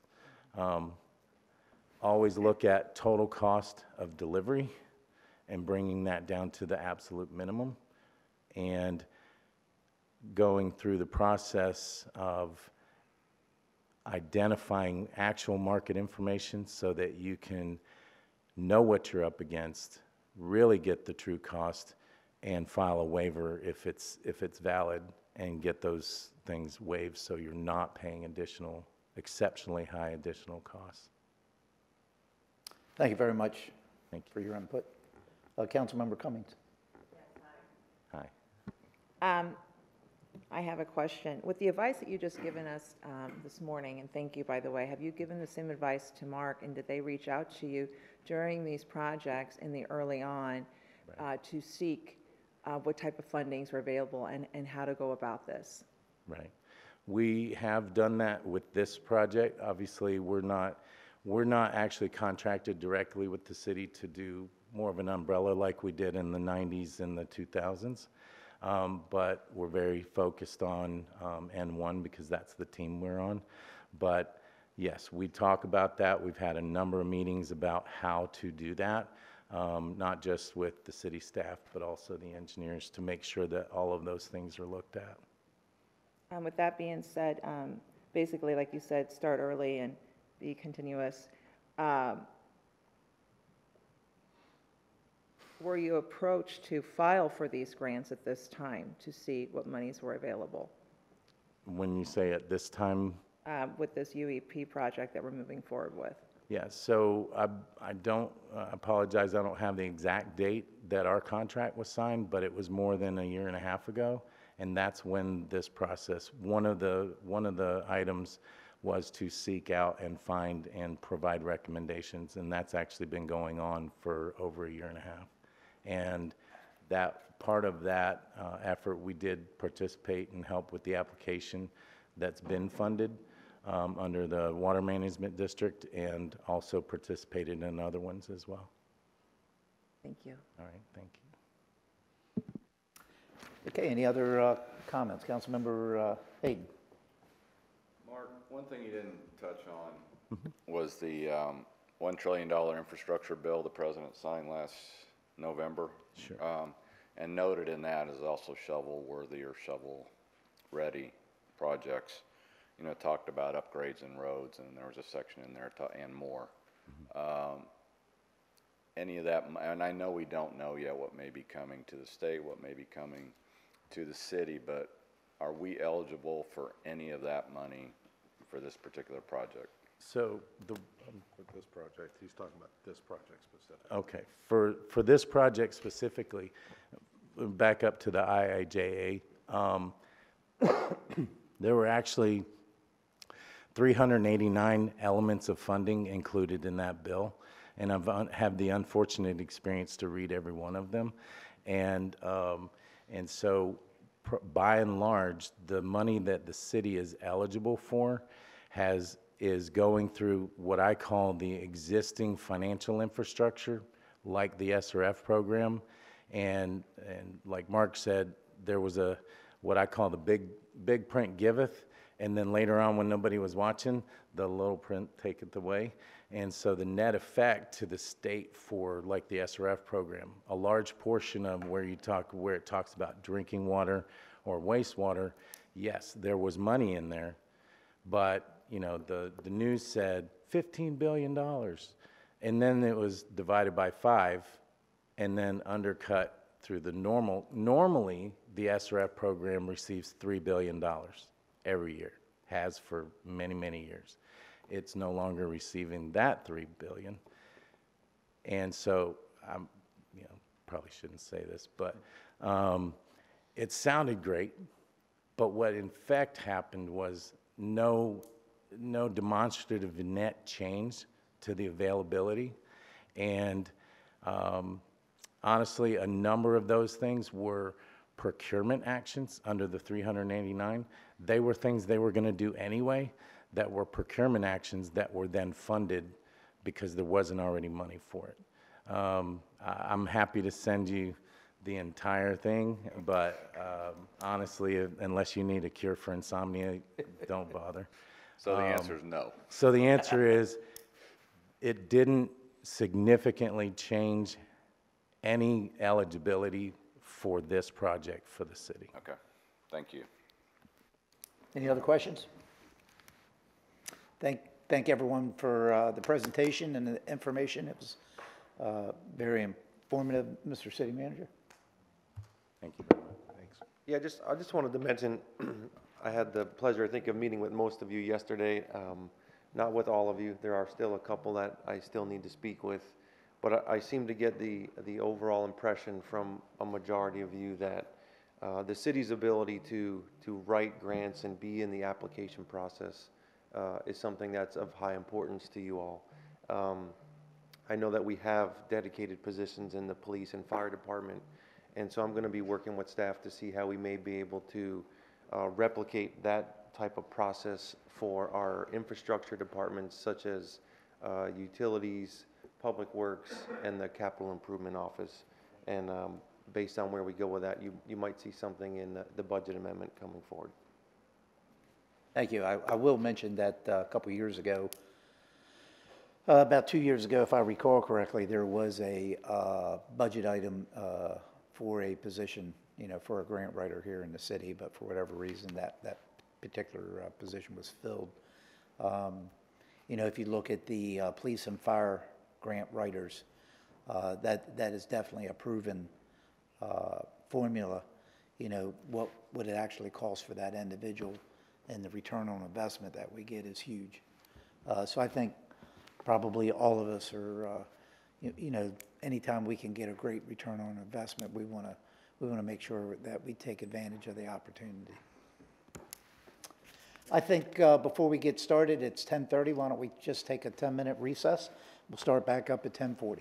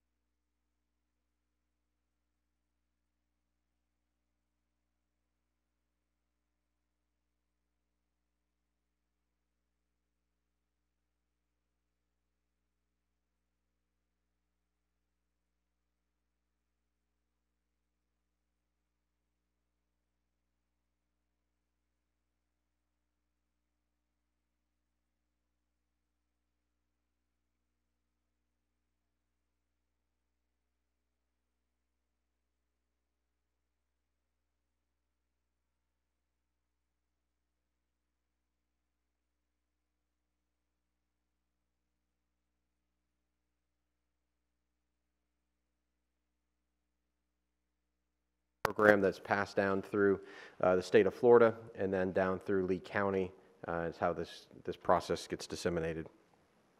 So uh, we've got uh, Alvin Henderson, our Emergency Management Division Manager, and Kirsten Lynch, uh, the Fire Department Grant Coordinator Writer, along with uh, other city staff and uh, a number of folks from consultant firms from uh, around the country that are here that are experts in this field to help walk us through this.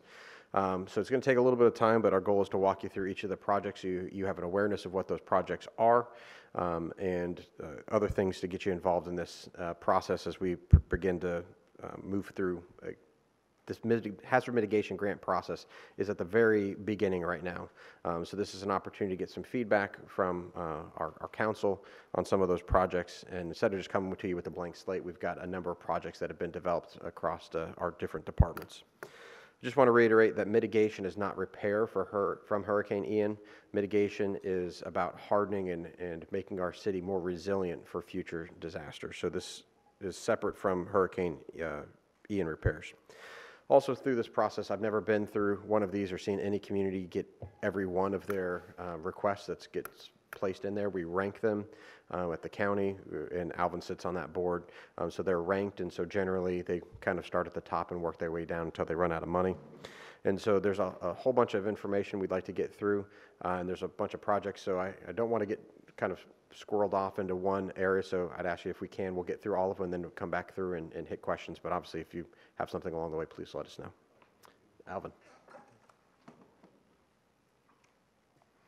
Thank you, Chief. Good morning, Mayor, Council. Uh, What we want to try to accomplish here uh, during the next couple slides is kind of give you an overview of uh, where we're at today since Ian uh, impacted us here in the city of Cape Coral. Uh, Specifically, talk about the Hazard Mitigation Grant Program. Uh, I apologize in advance if I throw out the acronym HMGP. I'll try not to do that, but it's a a casualty of being in emergency management, I guess, for such a long period of time, you start using acronyms.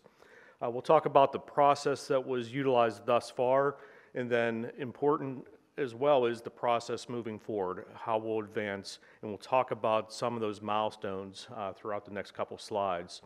And then talk about the projects themselves uh, from a high-level perspective, and then what next steps we need to take uh, to maintain the aggressive schedule that we've put together uh, with the county and then also with our contracted consultants as well. And then also other potential grant programs. Uh, Kirsten Lynch, the fire department's uh, grant manager, grants coordinator, uh, I, I like to re- refer to as like a gold prospector. Uh, what she typically does with those grant opportunities is really, you know, the same as what a prospector does trying to find gold. You dig through mountains of dirt, rocks, stones down and sift through it and try to get to a flake of gold, put all those flakes together as a, a funding str- uh, stream for a business. That's pretty much what uh, Kirsten does from the grants perspective. There's a mountain of paperwork to go through to really find out what grants are applicable, when they open up, and when we can go after them. And that's one of the processes that she does uh, with the assistance of our emergency management staff and with our contracted consultants as well. So what is hazard mitigation grant program? Basically, hazard mitigation, like the chief said, it's a process that we look at within emergency management to try to lessen the impacts of future disasters on our community. So what we're looking at is ways that we can lessen that impact, recover from it sooner, more efficiently, and make ultimately our, our city and our community more resilient. Uh, Some of those typical projects that you uh, utilize under this type of grant program are wind retrofits, flood control uh, measures, uh, transportation system retrofits, protection of utilities, critical infrastructures, uh, generators, uh, building code enforcement. Those are areas that we look at that are time consuming, but as a result, lessen those impacts of disasters on our community. Uh, Some actual project examples that have been successful in this uh, grant program in the past has been generators and wind retrofitting or uh, hardening, if you will, of a structure. Uh, Utility redundancies where you might have a secondary uh, utility feed coming into an area or secondary uh, water, uh, potable water supply to critical infrastructure. Safe rooms are another large area that get funded out of this area that uh, provide shelter for critical workers, for example, uh, to actually be able to hunker down, if you will, during the high force winds of a hurricane, for example, and then as soon as those winds subside, they're already on site and they go immediately into action and start responding uh, and recovering from the impacts of that storm. So again, like the chief said, mitigation is a long-term hardening. We're not just looking at Hurricane Ian repairs. What outcomes are we trying to look at from this hazard mitigation grant program? It's a increased level of protection to our community. That's the people, the structures, and the infrastructure that make up our community. Uh, one requirement that we have to look at is that these projects have to be cost effective. FEMA has a benefit cost analysis methodology that they utilize in uh, qualifying the projects and scoring them. And that's one of the uh, processes that we follow uh, within the Lee County Disaster Advisory uh, Council as well. Uh, the solution has to be a long-term solution. It's not a temporary measure, if you will. It's uh, trying to break that, that chain of impact to our community again. So these are projects that are a long-term solution to these issues that we're identifying. Uh, before we get into the, the funding and grant uh, uh, timeline that you see on the screen, I wanted to talk a little bit about how we prepared for this. Back in 2021, we put together a uh, contract to have consultants uh, be under contract with us to work with us in planning efforts on our plans that we have in place, uh, making sure that they're up to date and most effective. Also, to assist us in response to these situations, for example, like the hurricane that we experienced, to have them come in, work with us, and then also at the same time start looking at recovery so we can be extremely efficient in trying to recover from the impacts and then also look at financially how we can get every possible dollar possible to us to be able to keep the, uh, the city economically advanced in that process.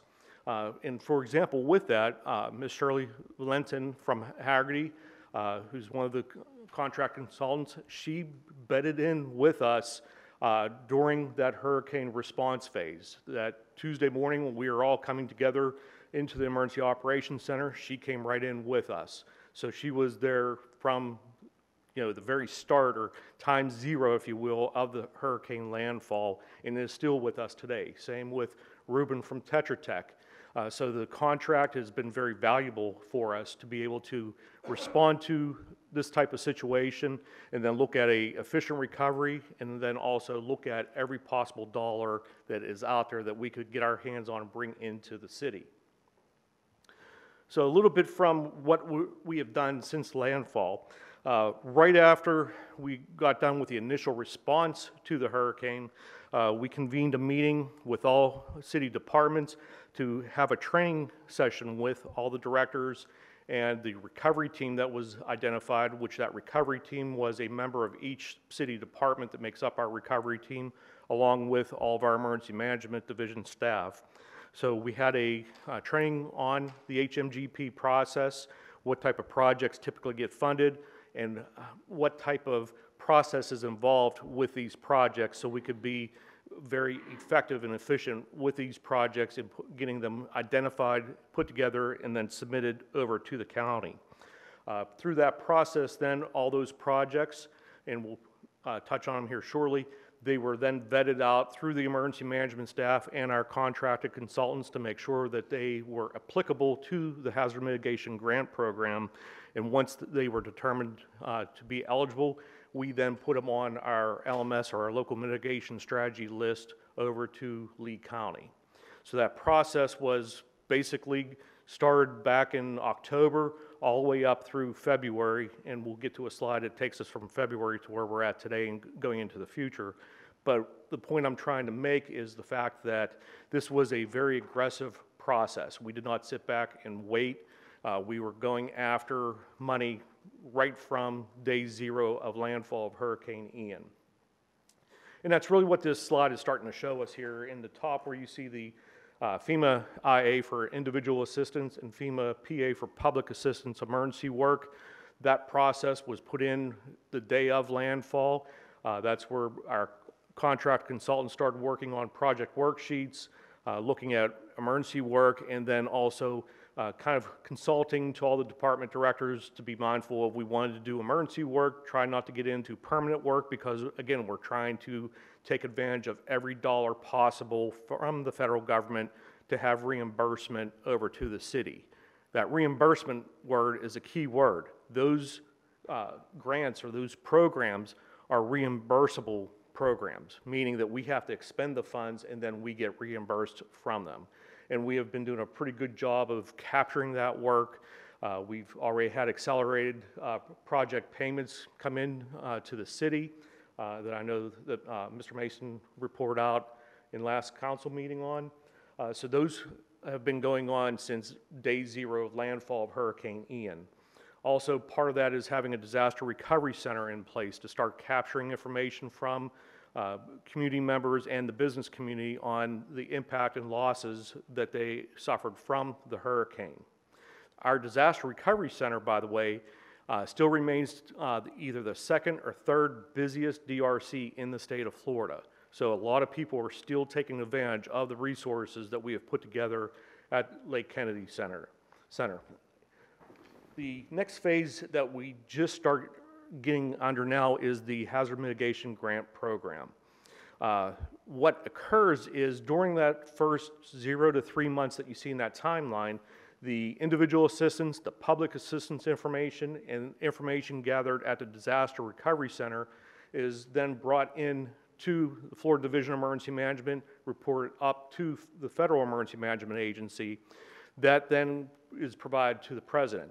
The HMGP program then gets funded based on collectively how big the disaster is, the dollar amount of damage. So that's the process that goes on at FEMA and Washington, D.C. to look at those expenditures or, or, the impacts, if you will, from the disaster, which then they look at what that appropriation is going to be uh, coming out under the HMGP program. That next process that we're waiting for is what's called the Notice of Funding Opportunity. So after all that information is uh, brought together, a dollar amount is identified and then reported down to the county. Once we get that, then we look at the next process of those projects and scoring those projects and moving forward with project submittal, and we'll get a little bit more into that here shortly. But then other areas of opportunity, if you will, for funding, obviously is through the Hazard Mit Mitigation Assistance Grant Program, Flood Mitigation Assistance, and the Building Resilient Infrastructures and Communities. Those grants are then available based on that funding uh, opportunity, and then also through uh, the HUD Community Development Block Grant Disaster Recovery Program as well. At the bottom, you see other grants. Uh, again, these aren't automatically turned on with a disaster declaration. They have to be uh, funded, if you will, through Congress, and then that information will come out to us through the Federal Emergency Management Agency, reporting down through Florida Division of Emergency Management to the counties. so where are we at today? Uh, like I said, basically we worked through all city departments to build up our potential projects list that would be applicable under the hazard mitigation grant program process. On February 13th, the Disaster Advisory Council for Lee County met. We went through all the projects submitted to Lee County uh, based on the community uh, impact and uh, importance of those projects. There's a scoring rubric that is put together uh, to start scoring those projects, to start prioritizing those uh, projects into a list. Then that list is then forwarded over to Florida Division of Emergency Management. They look at that list and then they come back with any recommendations of either yes, fully applicable to the HMGP program, maybe that might have to have some uh, update of information or wordsmithing into a certain program area to make it uh, applicable, or no, it does not meet the intent of the, the grant application process. We have that list uh, already back from FDEM, so now what we're doing is basically in a hold pattern, if you will. We are waiting for the next step, which is in now the hands of the president uh, to issue th down through FEMA, would be the notice of funding opportunity. that will then allow us to understand the dollar value, if you will, of what Lee County can expect. Uh, That then also allows the Disaster Advisory Council to meet and say, okay, we have X amount of dollars uh, potentially coming in under a Tier 1 or first phase funding, if you will, and then prioritize those projects for submittal up to FDEM. Now, when those projects go up to FDEM, what they're going to be looking at is the technical feasibility, environmental soundness, cost effectiveness, and floodplain, floodplain management compliance. So as they go through that process, it's going through another level of scrutiny uh, to make sure that we are utilizing those funds in the most effective means and by what is the governance of the HMGP statute process. Uh, The next phase after that would be applications are due. Typically, right now, it was May, kind of concerns us. You know, we're almost into March. We have not seen that notice of funding opportunity come out yet. That will be the next hurdle that we would have to go through.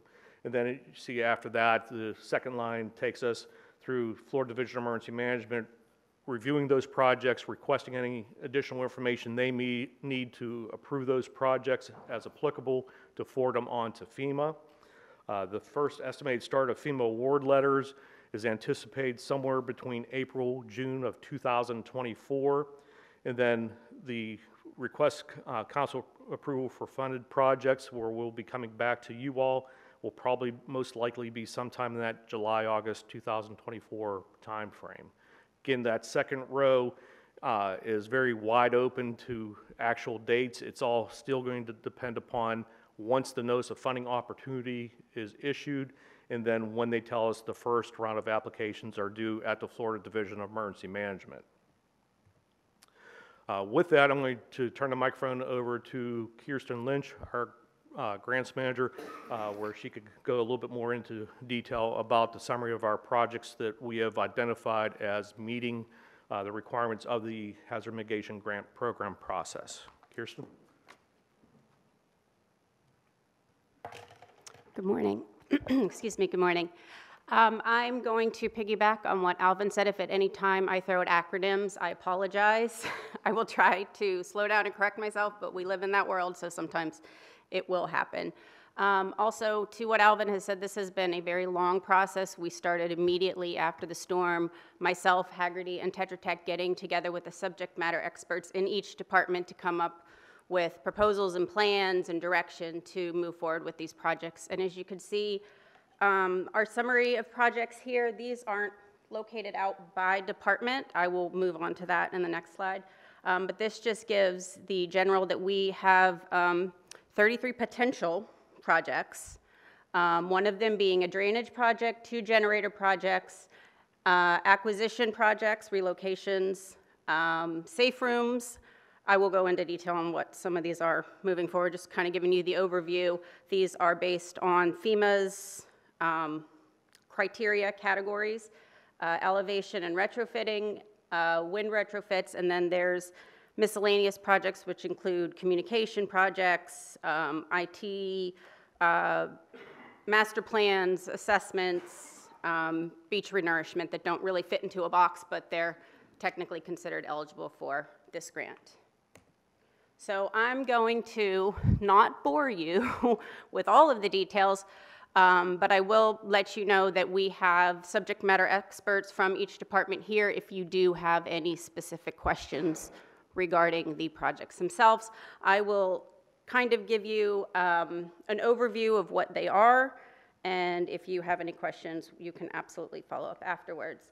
Um, for the capital improvements um, division of the city, their three projects consist of standalone safe rooms, which would be located strategically throughout the city. And again, what Alvin said are those are basically for our next up employees that they may not be in an activation, but we need them, be it our road clearing crews, um, utilities workers, um, PD, those uh, essential employees that may not need a space in the EOC for activation, but we need them here in the city to help assist with response immediately following a storm. So those would be located. Um, three standalones. When I get into utilities and the fire department, there are also more, but these would be citywide for city employees for sheltering purposes um, in a storm. Uh, Also, one of the, uh, since I've been the grant writer for the fire department, has been a high priority for the city, which is the hardening of City Hall and updating, upgrading the generator there. The generator is as old as the building. Um, We saw that it wasn't substantial enough to be able to move the folks back in there to do their daily jobs after the storm. We had, you know, big fans in there and limited uh, staff. So to be able to harden that facility, um, put some sort of wind curtain cushion, upgraded glass, uh, we have it at about $10 million, so it would give us a good start in getting that building um, sustainable during a storm. Um, It's a very, very high priority project uh, for the city. And then uh, also, we would be hardening and adding generators to the Lake Kennedy Senior Center and um, Special Populations Building, which again, were utilized heavily immediately following the storm for city employees, resources. Uh, The DRC is still there. I mean, it- they're critical facilities in the sense that um, they're able to be utilized um, for kind of the ancillary uh, projects the city has going on after a storm.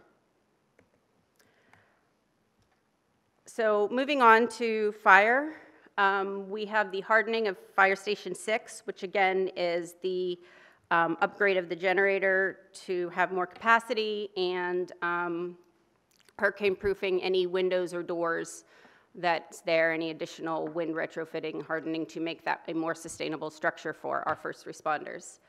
Um, We have two uh, relocation slash construction elevation projects, which is Fire Station 10 and Fire Station 5.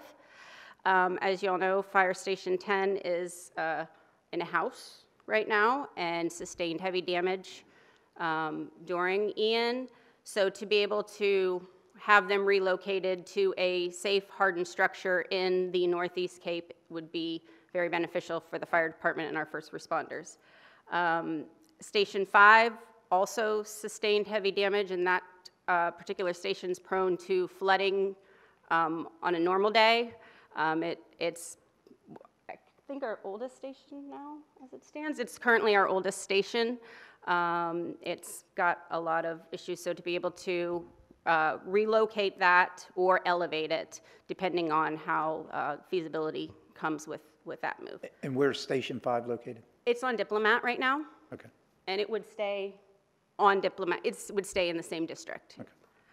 Um, And then another uh, safe room project would be the uh, Emergency Operations Center expansion. Um, As many of you saw, and we all saw during the storm, it was severely inadequate for the level of staffing that we have in the city right now and the growth that we're moving towards. Um, A safe room is basically uh, a component of FEMA where they tell you you have to have this many square foot per people. So, and you have to have adequate shower facilities, locker facilities, dining facilities. It basically contains everything in that space um, for the duration, 36, 72 hours, whatever that may be. So that is, again, one of our high priority projects is just making that a more sustainable um, building for uh, the growth of the city to help the residents respond. Um, IT projects, um, I have them listed out separate, but because these are based on a benefit of cost analysis from FEMA, they will probably be combined with other projects to make a larger um, benefit to cost ratio. Um, For example, the uh, battery backup and data center, you'll see as I move towards PD, there's some hardening there. So this $200,000 $200,000 would probably be lumped into the 3 million PD hardening to make it a more viable benefit um, project. Um, Also, Wi-Fi coverage in city locations, and then fiber connectivity to utilities. Uh, Here's the PD project that I was referring to. It's the hardening of the building. Again, they have the same issue with the glass and leaking and roof issues. So this would be to um, upgrade that facility to be uh, more hardened. Um, Public Works projects, I definitely um, will give you the briefest of brief overviews on these. Um, They're very detailed, very thought out. Thank you very much to the Public Works Department for all the uh, time they've put into helping us develop these. So I'm going to briefly just touch on them, and then we can respond to them afterwards. So the first one um, falls into that miscellaneous category that sometimes um, HMGP doesn't necessarily fund studies and analysis and master plans, but they do set aside some money for flood assessments and different, different types of master planning that will help your city move forward. Like you might not be ready for construction right now, but they will give you the tools to assist you in that planning. So that's what that uh, particular line item is, is that assessment to where our flood-prone areas are and give Public Works a better uh, idea of how to move forward. Um, The next project is the conversion of the 175 acres, um, formerly the golf course, which would be turned into a stormwater park to allow for better drainage in the South Cape. Um, Again, I'm not intimately familiar with that entire process, but I'm sure that if, if there's more questions, we could uh, tackle that also.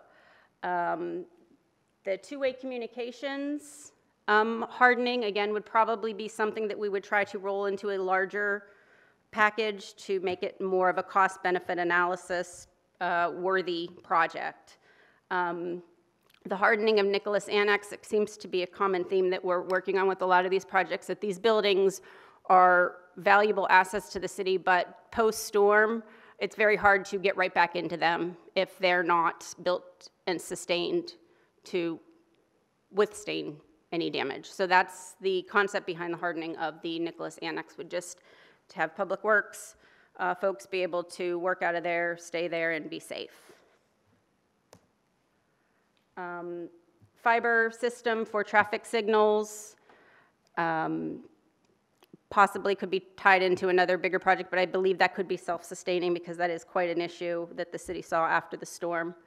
Um, Beach renourishment at the yacht club and the uh, addition of a jetty. Um, Upgrade to the stormwater master plan, again, that falls into that idea that it's potentially not a fundable HMGP project, but they will allocate money for studies and design um, and plans. Uh, Moving on to utilities, there's um, several safe rooms, because again, we need utilities employees to be here on standby, ready to go to fix whatever problems may have occurred during a storm. So there are multiple safe rooms um, at utilities, collection, distribution. Um, This, actually, the second one is a total relocation and reconstruction of the South RO plant. Um, And then there is, and I believe, if I'm not mistaken, that this one, the dedicated potable water main to Cape Coral Hospital. Um, As far as Cape Coral projects on the Lee County list, I believe this ranked number one from the county as a major priority to make sure that we're not in that situation where there is no water to a hospital. So that is, um, has been added to our list of projects as well. Um, The South RO um, Emergency Administration Safe Room, sorry, to be separate from the new uh, reverse osmosis building that was proposed in the previous project. Um, A safe room there, as well as a safe room for the water production um, building as well. Um, More safe rooms, again, just to be able to have employees here, local, ready to respond immediately following a storm. So there's another safe room for water reclamation. Um, The biosolids building, um, and then if you move down to the next one, there's um, proposed 80 portable generators. Um, In the past, HMGP has frowned upon portable generators. Um, It's something that, after Irma, we were able to um, secure a grant for a portable generator for the Faith Presbyterian Church, which the city owns the generator, and we were able to bring it there um, to allow that building to respond. So this would kind of be the same thing with utilities. We would hold on to these 80 generators and use them sporadically wherever needed throughout the city. Um, And again, it's, it's give or take with uh, FEMA and the state if they decide to fund portable generators, um, but we're putting it in there as a request. Um, Another hardening of the South RO uh, is in there. A supplemental water source for critical facilities. Um, We all saw what happened um, when there was no running flushable water. So just basically hardening those um, critical water structures that would allow us to be able to continue uh, with the response after. Um, Relocation and construction of the utilities collection distribution building, apparently um, with all of that area being down very close to the river, um, it's not always the best suited location for some, um, especially the older buildings. So just looking to uh, relocate that and, and build that. Um, The large portable generators, these would be stationary, located at uh, critical lift stations throughout the city. Um, So we don't lose power to those lift stations and in turn have uh, water issues. Um, And then the hardening of the Everest Ble- Bleach Building, uh, currently, now as it stands, it's a screen building, and they would like to modify it to a concrete structure that can withstand um, damage. Oops, one too many. So those were, again, just a brief, very brief overview of what myself and Hagerty and Tetra Tech have been working on with the departments um, to get us poised and ready for submission. The, of the 33 projects that are here, uh, to repeat kind of what Alvin was saying, not all of them will get funded. Um, But we will obviously do our best to um, combine like projects, add benefit to um, maybe some smaller projects to bulk them up um, and submit applications in the best interest um, of the city for city facilities. Now, Alvin is going to touch on the residential component of HMGP, and then I will circle back with our next steps and um, different Thank you, Kirsten. As Kirsten was mentioning, part of the process of putting these projects together under the Hazard Mitigation Grant Program is to actually oversubmit, if you will. Uh, That's the guidance that our uh, contract consultants have provided to us, and then uh, also the direction that Florida Division of Emergency Management and the Federal Emergency Management Agency advises as well. Uh, So what we're trying to do is show a large need uh, which will hopefully equate to more dollars coming to us here in Lee County and then ultimately to us here in our city. Uh, So that's why we try to over, uh, put in these projects to make sure that we're potentially maximizing our potential for that money to come in to us here in the city. Okay, uh, the last project area is residential uh, acquisitions and elevation projects. Uh, They are permissible under the Hazard Mitigation Grant Program. Uh, Typically, where these projects have been uh, awarded have been for uh, residential tract block acquisitions of hazard-prone areas, uh, and then also elevation of structures to above known flood levels to prevent or reduce future losses.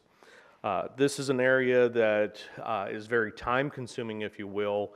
A lot of times, there's the misconception this money would come immediately to the homeowners, uh, but that's not the case. As you see the timeline of, and this is an aggressive timeline as well, if we were to uh, go down this path, uh, we would have to do outreach to start looking at potential projects and homeowners that are in agreement uh, to either acquisition or elevation projects. Uh, We'd have to research that property, uh, look at what type of losses they occurred. Uh, Again, these have to be scored based on a, a benefit cost analysis. Typically, those benefit cost analyses are looking at repetitive losses. Uh, And then there's the severe repetitive loss program that if you've had five losses within the last five years and that the losses have been over uh, the 50% value of the assessed value of the home, that, that is then considered a severe repetitive loss.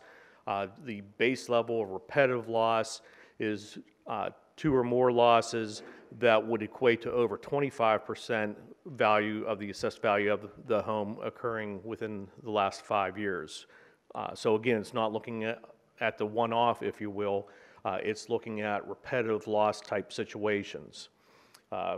Continuing down the timeline, once we would do the research and sub-application development, we'd have to then submit that over to the Florida Division of Emergency Management for their review and uh, go through their process of looking at the environmental impact, uh, making sure of what the benefit cost analysis is, and then ultimately uh, how that looks at from a uh, community impact, if you will.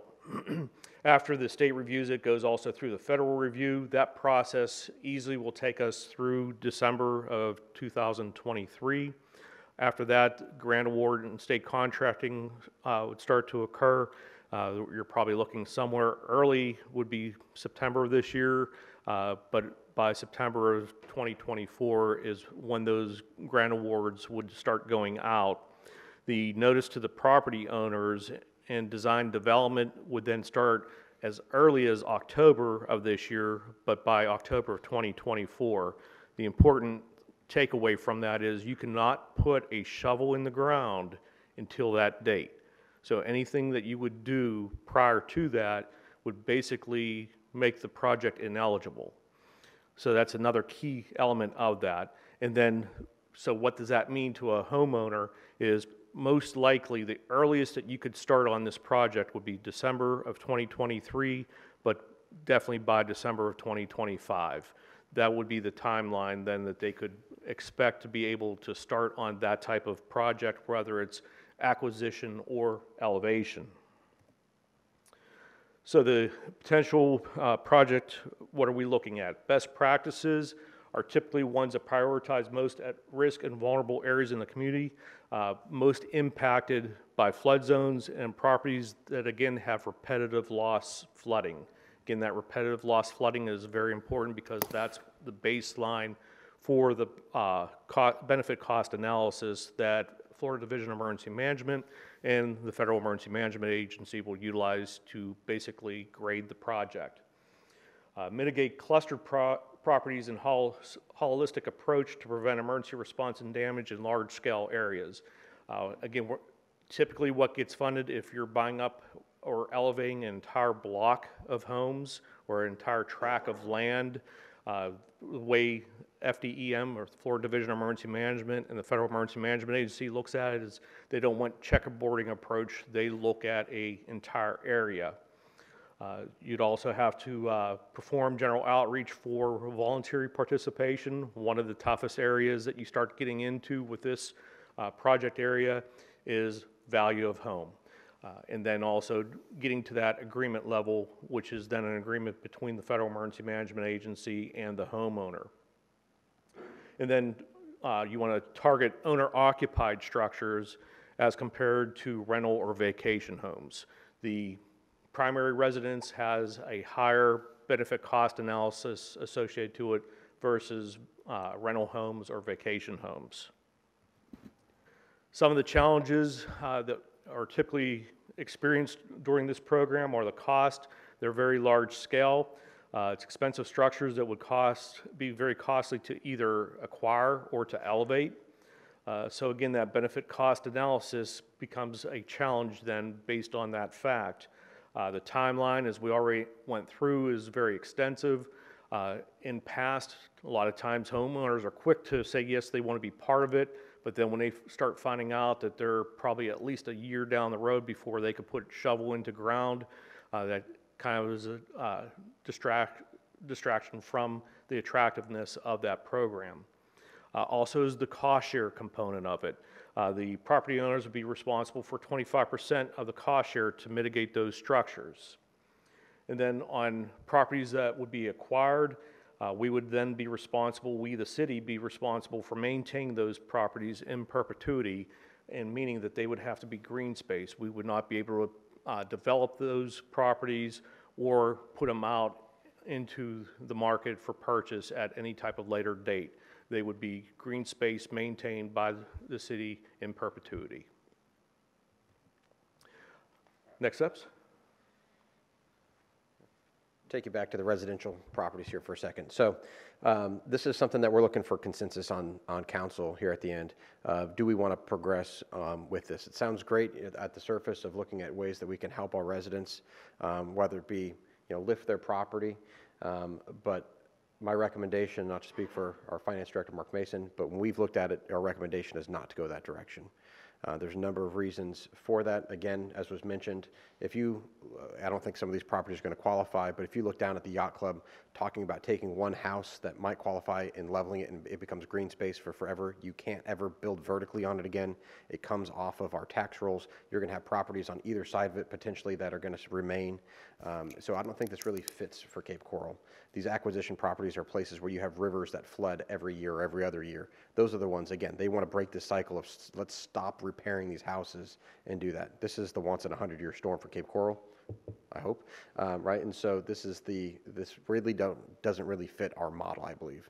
And then as far as lifting, um, again, you're years away from seeing these, these projects come forward. It's going to take an army of people to make that happen. If that is the direction of council, that is something we will certainly do, but it is not the, uh, going to be our recommendation, but we'd love to get a consensus um, from council at the end of today's presentation. Alvin?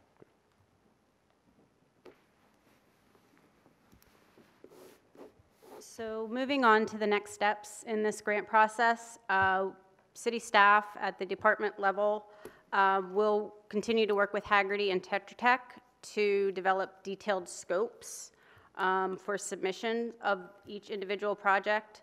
Um, Once those scopes are developed, uh, they will submit a uh, benefit cost analysis through the FEMA actually has a tool that you use.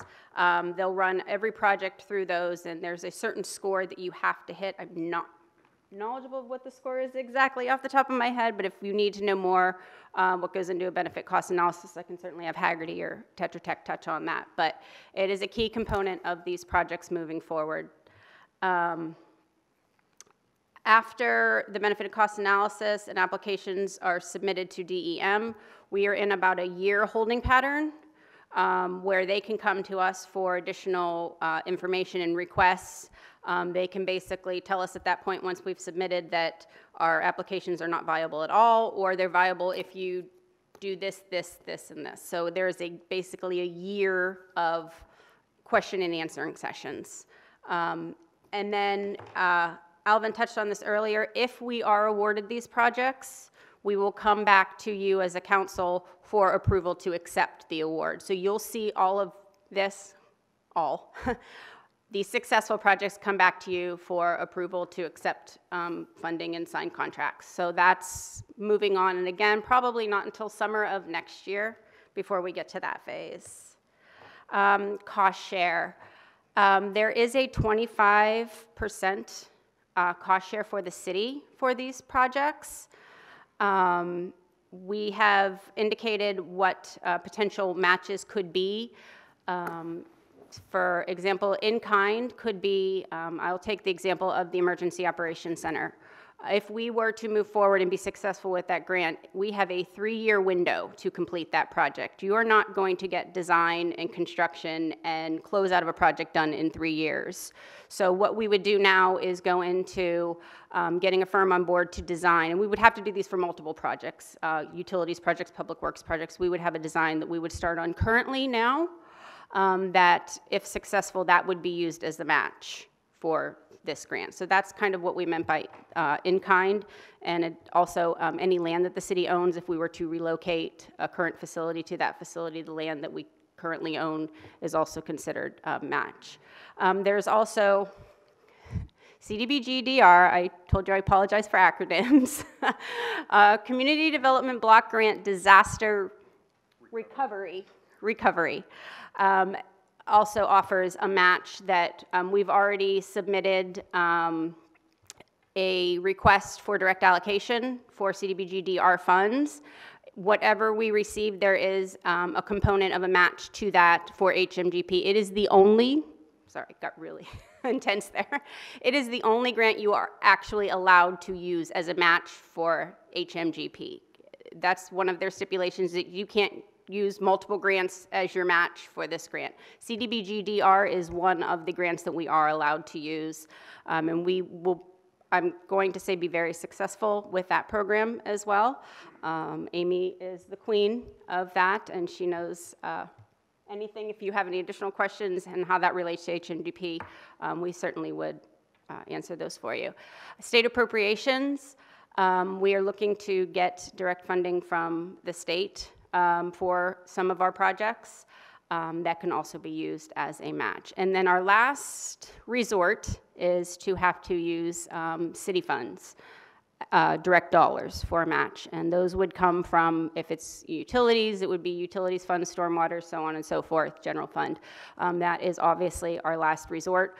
But if you're looking at a um, couple million dollar projects in this, you know, the city can come up with the 25, it basically makes it uh, wor- a worthy project for the fraction of the cost that you're paying for it. But we would loo- definitely look at local match as the last resort. Other grants um, that are related to the hurricane, again, I, I spoke to the Community uh, Development Block Grant Disaster Recovery, CDBG-DR. Um, There's also the Flood Mitigation Assistance Grant, which is also through FEMA.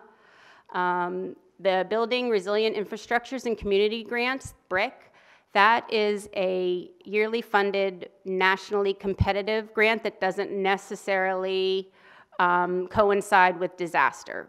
It funds the same types of projects. You still have to have a benefit cost analysis. Some of our projects that are um, worthy through HMGP, if we're not able to get funding through HMGP, when the BRIC cycle comes back around, which is um, November, we can apply again for those funds.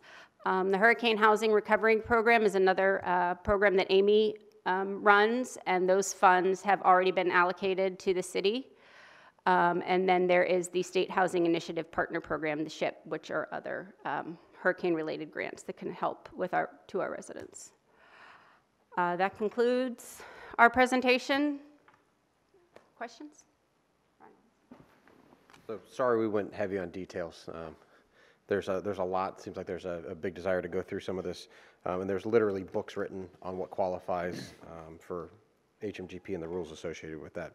Um, Just of other note, when we talk about, you know, it goes through the, the federal government, we still haven't got the notice of funding um, down to the state, down to the county. When we get down to the county level, this is every municipality, um, every form of local government, um, whether special taxing districts, the county themselves, and also the state universities are all vying for that same pot of money. So with that, we'll stand by for any questions. Thank you. I know uh, one direction that you're looking from staff is the residential component uh, that you had mentioned.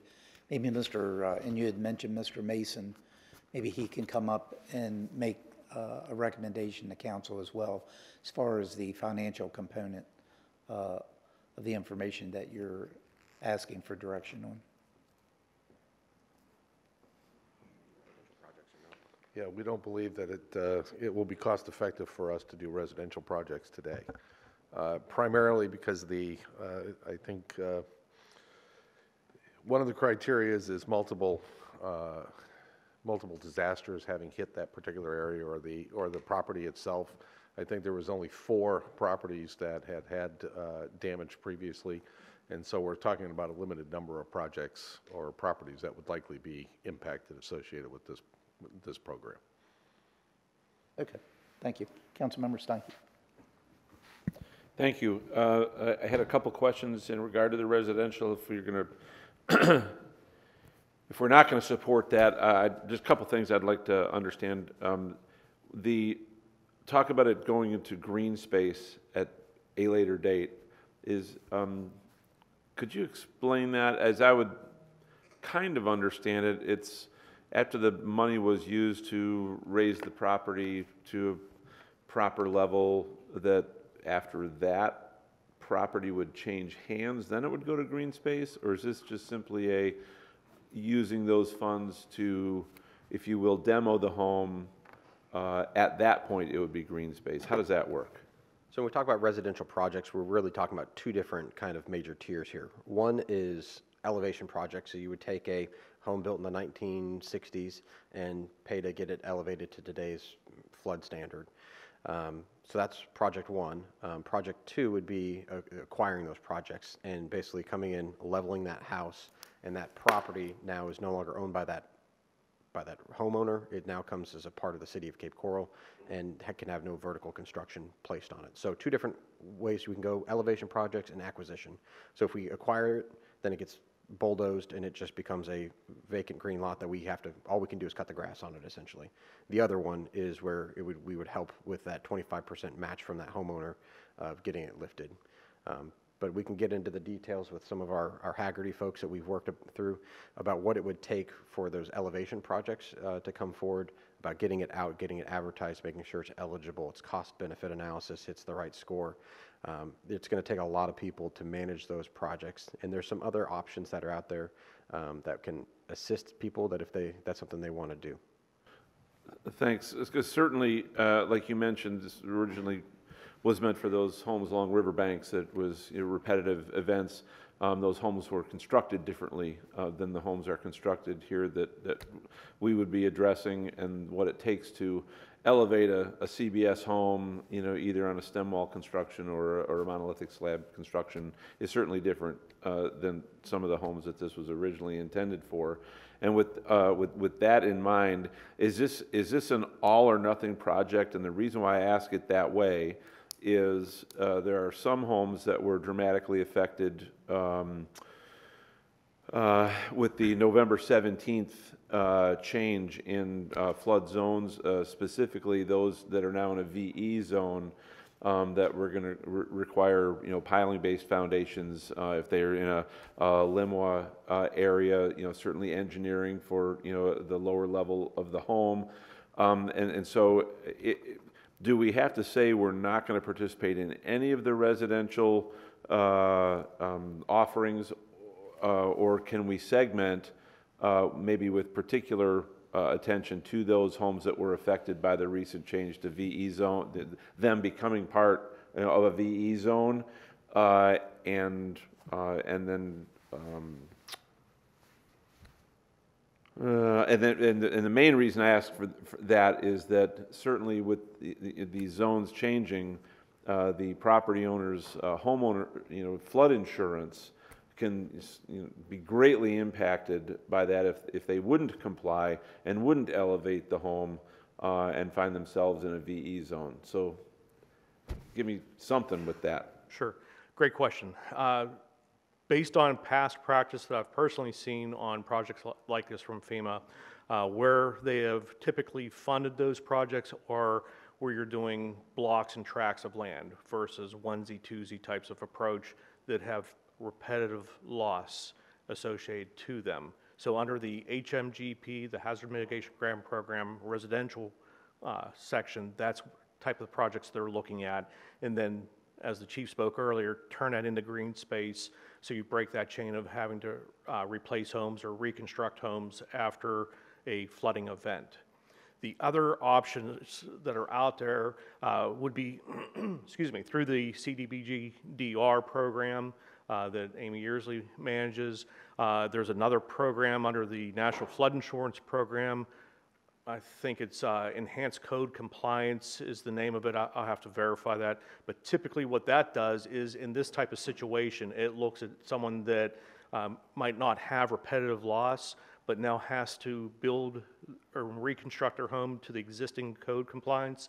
That program typically gives, I think it's $30,000 to that homeowner to assist with that function. And that is part of the National Flood Insurance Program. So there's other opportunities, if you will, uh, for other funding sources uh, that would assist that type of homeowner. Shirley, did you have, or Michaela? Yeah. Hi, Shirley Valentin with Hagerty Consulting. I'm Michaela Shannon. Hello. To your question on the VE zone, so you are able to elevate homes in the VE zone. So if they end up within the new, like you were saying with the ordinances or. Speak a little closer. Oh, to I'm the- so sorry. So you are able to elevate in a VE zone. So if, because the FEMA flood maps, I know those just recently changed within Lee County. So if you do have a home that repeatedly flooded or severe repeatedly flooded, Um, and we can do that benefit cost analysis, but those would be, I'm just saying you're able to elevate within a VE zone. Right, and my, and my thought was, is that I, the, the elevation, I'm sure, you know, is, is available, although, um, it's, it's not as, it's not a simple elevation. Uh, it's putting that home, you know, on a piling-based foundation, it's, it's having the engineering of the lower portion of the home, you know, LiMWA in, in, in many cases, and so, if you will, the affordability of it, if we go in that direction, thirty thousand dollars is, is a flea on a camel's back of what it's gonna take financially to make, you know, that accommodation for that home, so. Absolutely. Yeah, no, so that home has to be feasible, so you're, you have to be able to elevate that home. Uh, like if it's substantially damaged or it's just not feasible to elevate it, uh, there, there has to be a, a different direction. Sorry, a different mitigation direct, direction like acquisition or mitigation reconstruction. However, in VE zones, you, are- FEMA will not fund mitigation reconstruction in a VE zone. Okay, and the last question that I had uh, was uh, as it related to um, all of the generators that were being suggested uh, in the plan. I didn't see anything in there with uh, the thought of being prepared then for all the fuel requirements uh, for those generators. Uh, How would we handle that if we, if we bring, you know, an additional generator capacity, if you will, to the city, which I think is a great idea? Um, how do we deal with the fuel requirements of those, and have we made accommodation for that in this plan? Uh, There's a few different ways that we could look at that through the projects. Uh, One would be looking at alternative fueling sources, for example, propane. Uh, So then you'd put a propane tank in. Uh, With the city, we do have a mobile uh, refueling vehicle that can go around. Uh, So those are part of the process, As- as Kirsten said earlier about potentially grouping various projects also. That could be something that we look at also is what type of fuel that you would want to have there to be most efficient, and then also how you would go about refueling. So, you know, from a diesel perspective, uh, in essence, we have that covered with the city's mobile refueling vehicle that we have. Uh, If we go propane, uh, potentially have uh, contracts that you put in place then uh, that would allow mobile propane trucks to go and- and refuel those tanks as well, which typically they have a a longer running time associated to them compared to uh, generators that run on diesel fuel. So to follow up on that question too, some of, something like that wouldn't qualify for HMGP, so it would be something that we would have to look at as a supplementary project to it uh, that would come through if that grant is awarded. So if that's, if that comes forward, um, we've had lengthy conversations, um, even looking at our facilities, our fixed facilities, uh, getting all of those onto uh, kind of a dashboard, internet-based thing. That way we could see how long their run times have been, how much fuel they've consumed, how much they have left in their tank. Um, So that way we're not out, you know, dipping sticks in tanks like we were during Irma or Ian. Okay, thank you. And just if I can jump back to the, um, the elevation project like you'd mentioned, um, that's, if you look at just the structure cost, right, because it's not taking away the land value with it, by the time you look at elevating those properties and the cost that's associated with it, that cost benefit analysis goes in the opposite direction um, for the engineering, like you mentioned, to, to lift them and, and re-engineer them to that strength. So unfortunately, that's where you start looking at it's more cost effective to demo. Okay, any other uh, comments? I think, uh, I think uh, staff is definitely looking uh, for direction on the residential component uh, today. Um, I just had a couple uh, quick things, and and then uh, I'll open the floor back up. The, back on uh, February 16th, uh, Chief, you had uh, sent the Joint Local Mitigation Strategy Report to me that ranks all the projects here in Lee County. Um, I didn't see that in the presentation here today. I don't know if you sent that to all of council, but if you didn't, I think that would probably be good information for all of us to have, uh, so you can uh, see uh, as far as Lee County as a whole.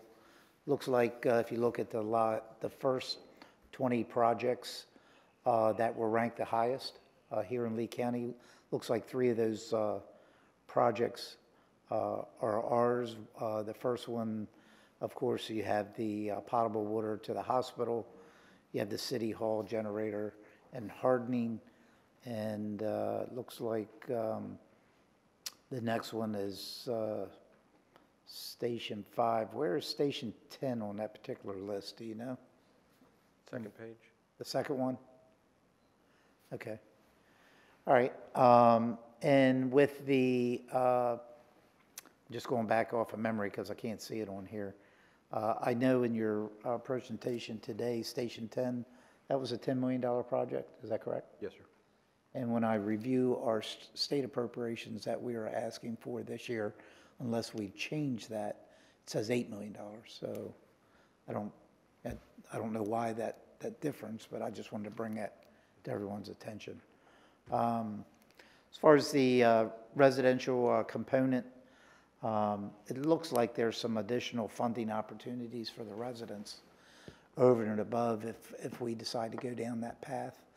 Uh, So I guess I would, uh, I would venture to uh, lean towards the experts uh, and staff that uh, make a recommendation that we do not go down that path. One of the things that uh, I heard in, in the uh, discussion was some of these projects is for the whole blocks. One thing with the uh, open green space, the last thing that I would, uh, and, and probably it wouldn't happen anyway, but I don't want to ride down, start riding down streets and you see just one lot green, three or four houses, another lot green.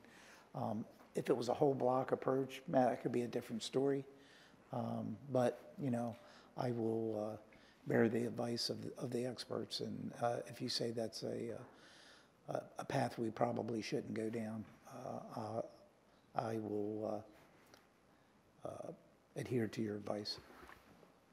And I I can- think, uh, need to hear from everyone on that particular topic. No, if I can just, uh, yeah, so definitely in the acquisitions, I don't think that's the, the way to go. Like you mentioned, you will have a house, and next door to it, a house will be built that two, two years ago, which isn't going anyplace, right? So that doesn't make a lot of sense. Uh, Station 10, uh, my understanding is there are certain things that HMGP will pay for, like they'll pay for the hardening of the structure and- and the building, they won't pay for furnishings. And so when you look at that 10 million plus, it's the, the 10 million plus the 8 million to make a total cost of, uh, of that project. Okay. Um, One other question, sorry. I think uh, that was all I had. Thank you. All right, um, so I'll open the floor up for everyone else, at least the residential component. I think staff is looking for a direction on Councilmember Cosden. Thank you. Just real quick, I agree on the residential component. I agree with you. Thank you. I would, I would follow expert advice as well. Yeah. Councilmember Sheppard? Same. Same. Same. Agreed. Okay, get your direction. All right. Looks like uh, next item on our list, and I want to thank everyone for the uh, presentation, all the hard work, and uh, we know this is a long process. We have a long road ahead of us, so uh, thank you in advance for all your hard work. All right, we'll move on to uh, item uh, 4B4, City Manager's uh, Position Vacancy. I'd added this, uh, I believe, on the agenda uh, back when we had talked about, um, you know, the direction we were going with the city manager's uh, position. Uh, I do think we've, as a council, have had some additional conversations uh, pertaining to this. Uh, And if my uh, uh, interpretation of what was discussed was, I think it was council's direction to at least have the interim city manager fill that position through our budget cycle, which is somewhere end of September, which is about seven months. We know that, um, you know, the uh, uh, process is probably, you know, if we do, if this council decides to do a national search, probably at least a four-month process. Um, So I think what we probably need to try to do today, um, I know we go on hiatus uh, June 19th uh, through July 11th. Um, And I think the question that we need to ask ourselves, uh, first, staff, if we decide to go down this path, staff will have to uh, give us some information on cost and firms. Uh, So I guess we need to find out uh, when would we like to have that conversation uh, in, in the future? Would we like to do it either before our hiatus, after our hiatus, um, or, or some other time? Uh, So I think that's, I think the discussion that we need to at least uh, have a direction uh, to know where, where we're headed in this process. Councilmember Cosden. Thank you, Mayor. Just speaking, as I managed the process um, three years ago, so um, I feel like I have some advice I can offer. So I look back in my email, we started the process in May of 2020, and I believe Mr. Hernandez started in August. So it was a three-month process. We, I was happy with the firm that we used. I, I don't know if we can go with them again, or we have to go through the process of choosing again. It was Colin Baenziger and Associates. Um, So my suggestion, having looked at that, would be that we start immediately after hiatus. As long as we have all our ducks in a row before hiatus, as far as, actually, we could get the firm started before hiatus, do their background work where they look for applicants, and then start our interviews and everything in July. That would be my suggestion. And I also suggest that we wait until then to decide whether we're even going to do the search. I don't want to do an expensive search if we all have the same conclusion about the current city manager, but I think we need to give it time. Okay. Thank you. Yeah, for me personally, I'll say that um, I think uh, since we're going on hiatus, it looks like around June 19th, the meeting prior to that, uh, staff could at least uh, bring any um, firms that are interested in, in doing a search. Uh, And then we can have that discussion then, how we want to move forward, who we want to pick as far as the firm. uh, And then kind of finalize exactly the direction that we want to go in.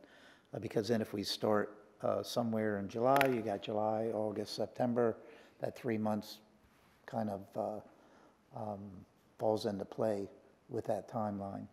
So that would be my suggestion, bring it back the meeting prior to July and at least have a further discussion and uh, have maybe our HR department uh, bring any available uh, search firms that would be interested in, uh, and what that cost would be.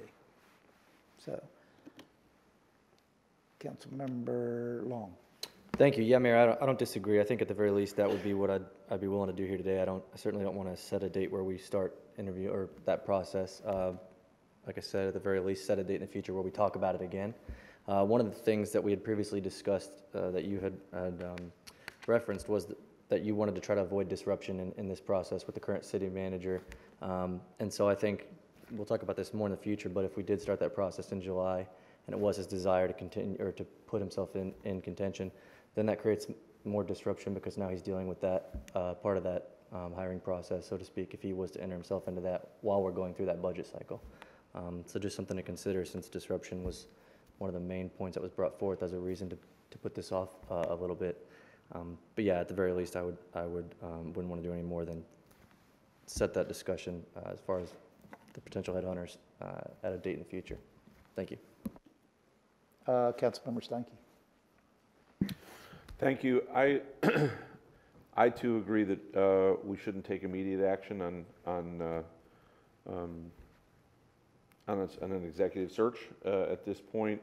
I also uh, think that uh, while it's not a decision we would make uh, directly, based on current events and a number of um, moving parts, I believe that in conjunction with this, we need to um, reconsider our search for our city attorney um, with kind of a number of um, how one decision affects another decision and the capacity of us to make good decisions and have solid ground to make them on.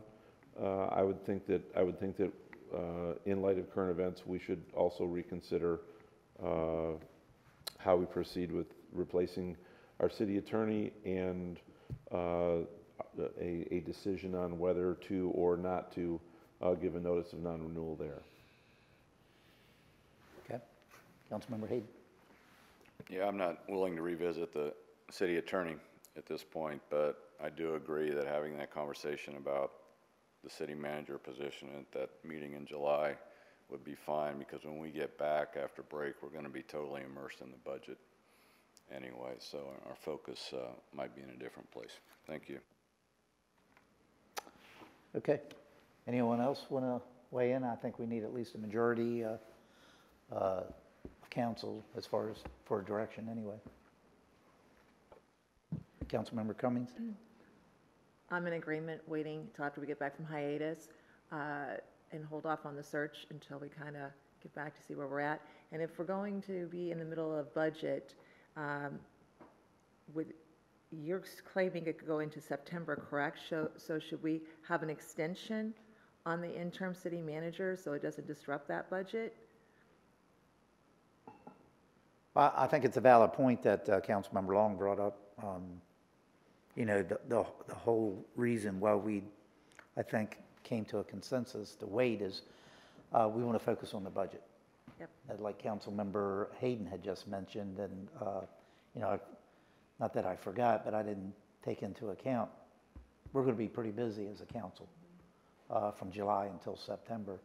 Uh, So with that being said, um, I would be inclined probably to, let's get through budget, and then we start having, uh, you start interviewing candidates and, and going down that path. I think, uh, for me, that may be the best course. Uh, Let's get through the budget cycle. If we're going to start uh, interviewing candidates as a council and going through that process, we probably don't want to do that until after, after the budget cycle. So that, that would be, uh, I think, my I'm in preference. agreement. Now- Now, now that I've heard from a couple of you and, and uh, refreshing my memory as far as why we were actually waiting. Councilmember Steinke?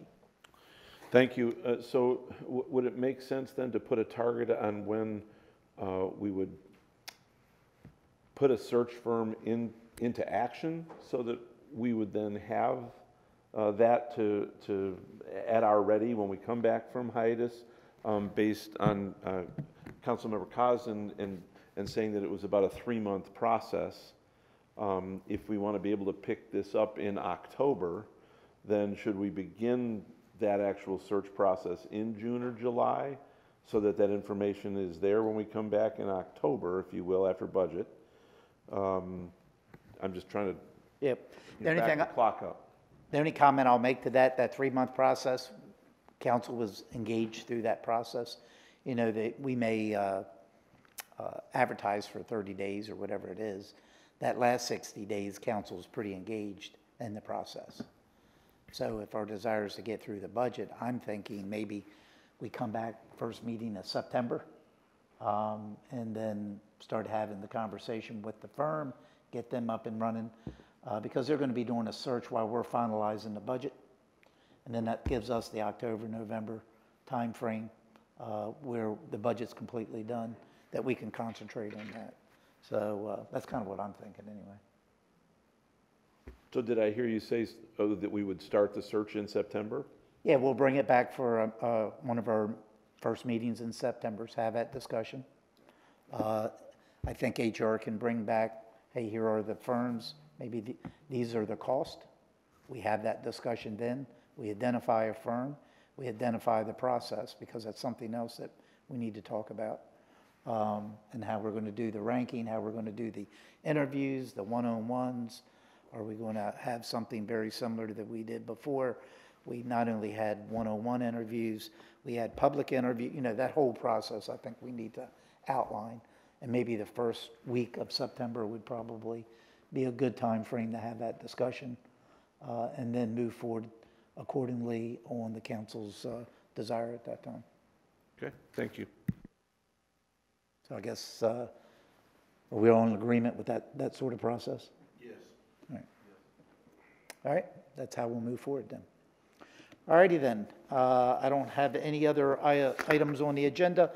Uh, As far as under 4B discussion, item five is roundtable discussions.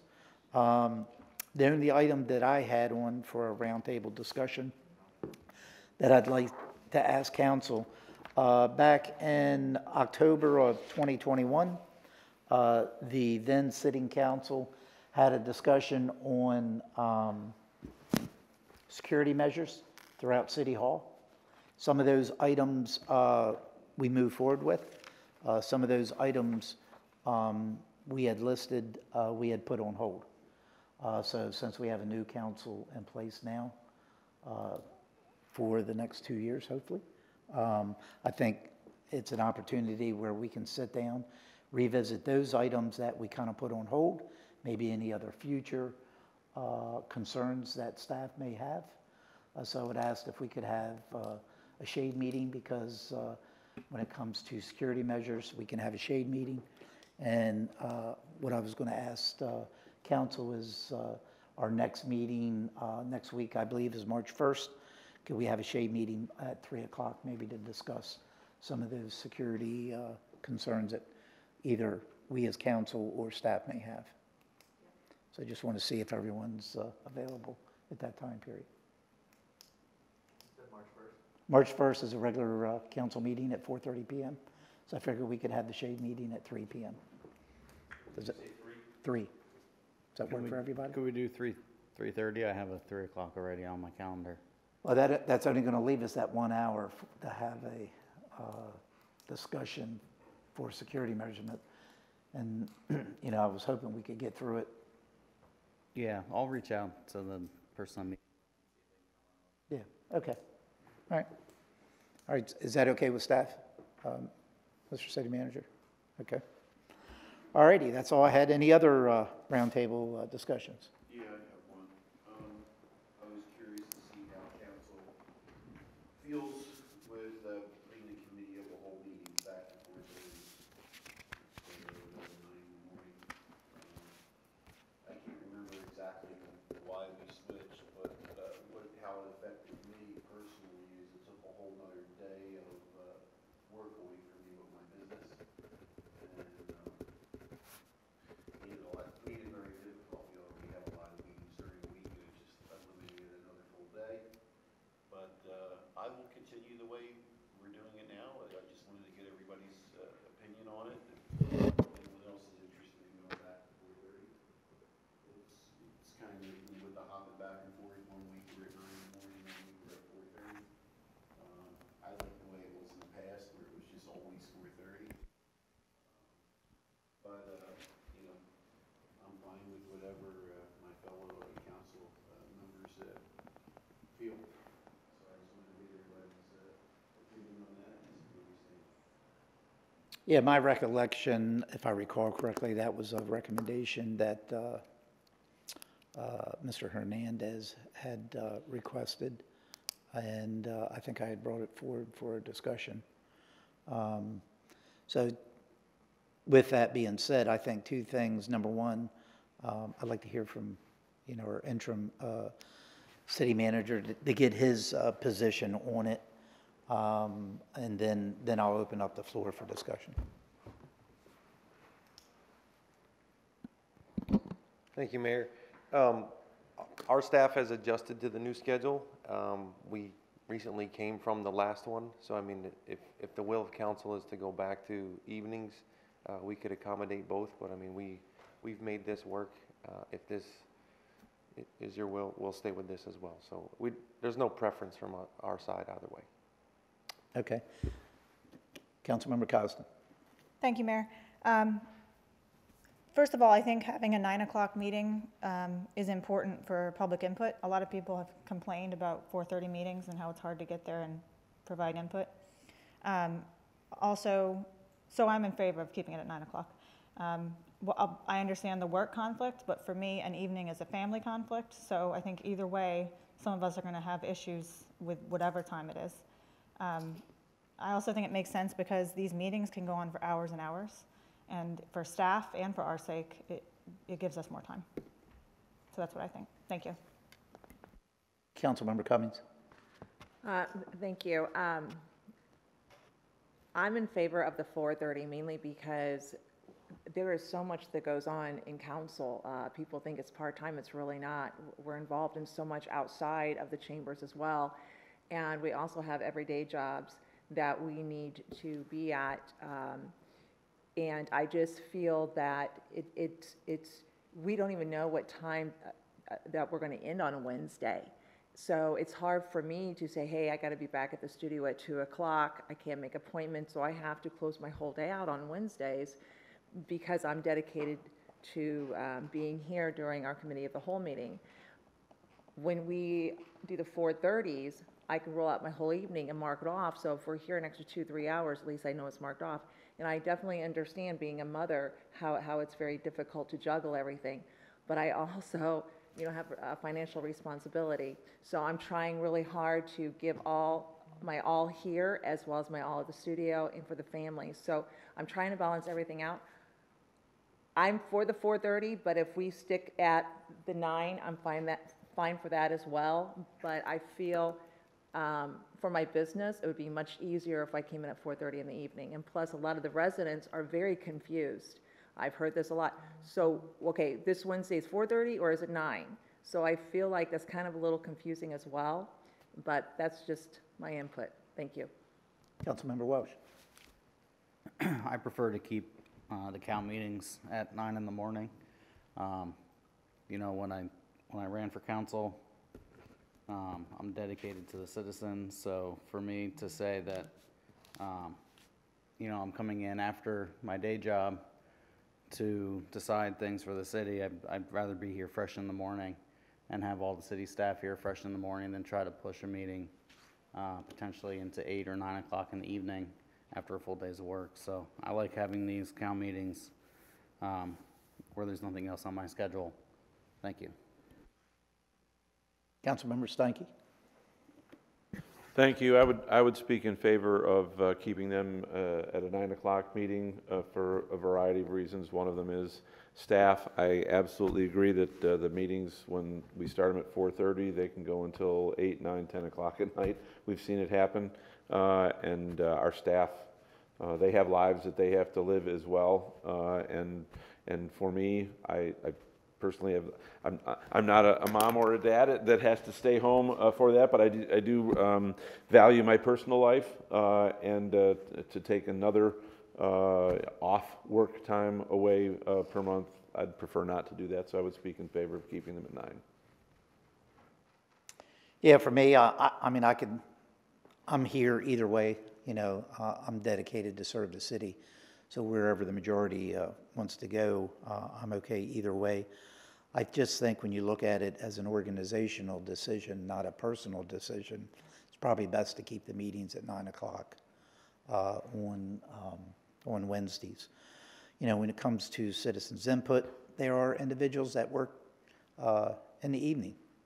So they don't have that opportunity. So when you have nine o'clock on one week and four thirty at another week, those individuals that may, may work the evening shift, the individuals who work in the hospitality uh, businesses throughout our, our community that, that are usually busier in the evenings than, than in the mornings.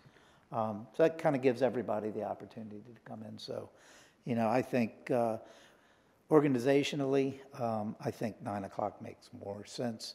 Uh, the county does both of their meetings in the morning, um, you know, when it comes to their committee of the whole, uh, or their, or their commissioner meetings. So, uh, you know, it, it's done, uh, you know, with many other organizations. So I think nine o'clock. We've been here. I think we've went back and forth a couple times, because I remember uh, we, we went back to nine and we went back to 4.30, we went back to nine. I just, just try to stay consistent. So. Mr. Hayden? Councilmember Hayden? Let's start at seven AM. Let's just, let's just. Hey, I get up at 5.30, I- you won't have a I- complaint. I think back to that eight-hour cow meeting that we had. um, uh, I think the flexibility with starting earlier in the morning, depending on how packed the committee of the whole agenda is, allows us more time to uh, get through issues. So I'm good with nine. Yeah. Yeah, and I've been here for the uh, midnight meetings, and I can tell you, it's not fun. Right. Okay, any other roundtable discussion? Yes. Yes, ma'am. Microphone. I do have a question. Um, This has to pertain with Friday with Rob Hernandez. Um, This is for our city attorney Dolores. I, I have a question. Um, Do we have directors of officers insurance? Or do we have the errors or and omissions insurance for what we're going through at this moment with Rob Hernandez if, if we move forward to going into the court setting. I have verified with our, um, with the city's um, risk manager that we do have the um, public service equivalent of the directors and officers insurance. And when we leave here today, I will further discuss that with her to make sure that there's been no gap in communication. I will also say to the council that I have recently discovered that the insurance that we have through FMIT includes provision of a labor law firm to even guide us prior to litigation. I will be, I was in touch with them yesterday, but they had to call me back, so they haven't done that yet. So my, my question with you, Mayor, is how can we um, talk about the insurance that can be provided for us with this possible lawsuit that's coming forward? I, I would, I would think that uh, that's something that the uh, city attorney, once she has a full understanding what's available to us, uh, could reach out for one-on-one meetings with all of us. So we're all aware of exactly what we have, uh, what opportunities that we have as, a- as an organization. I will also keep you apprised as to the various statutes that provide for coverage under certain circumstances, because I think you would find that to be interesting as well. Okay. Good. All right. Any other roundtable discussions? Okay, seeing none, time and place of the future meeting, we have a shade meeting uh, of the Cape Coral City Council, which is scheduled for March 1st uh, in room 228, if that's available, um, at 3 PM. We also have a regular meeting of the Cape Coral City Council scheduled for Wednesday, March 1st, beginning at 4:30 PM here in council chambers. We have a motion to adjourn. All in favor, say aye. Aye. Any opposed? Motion is adjourned. Meeting is adjourned.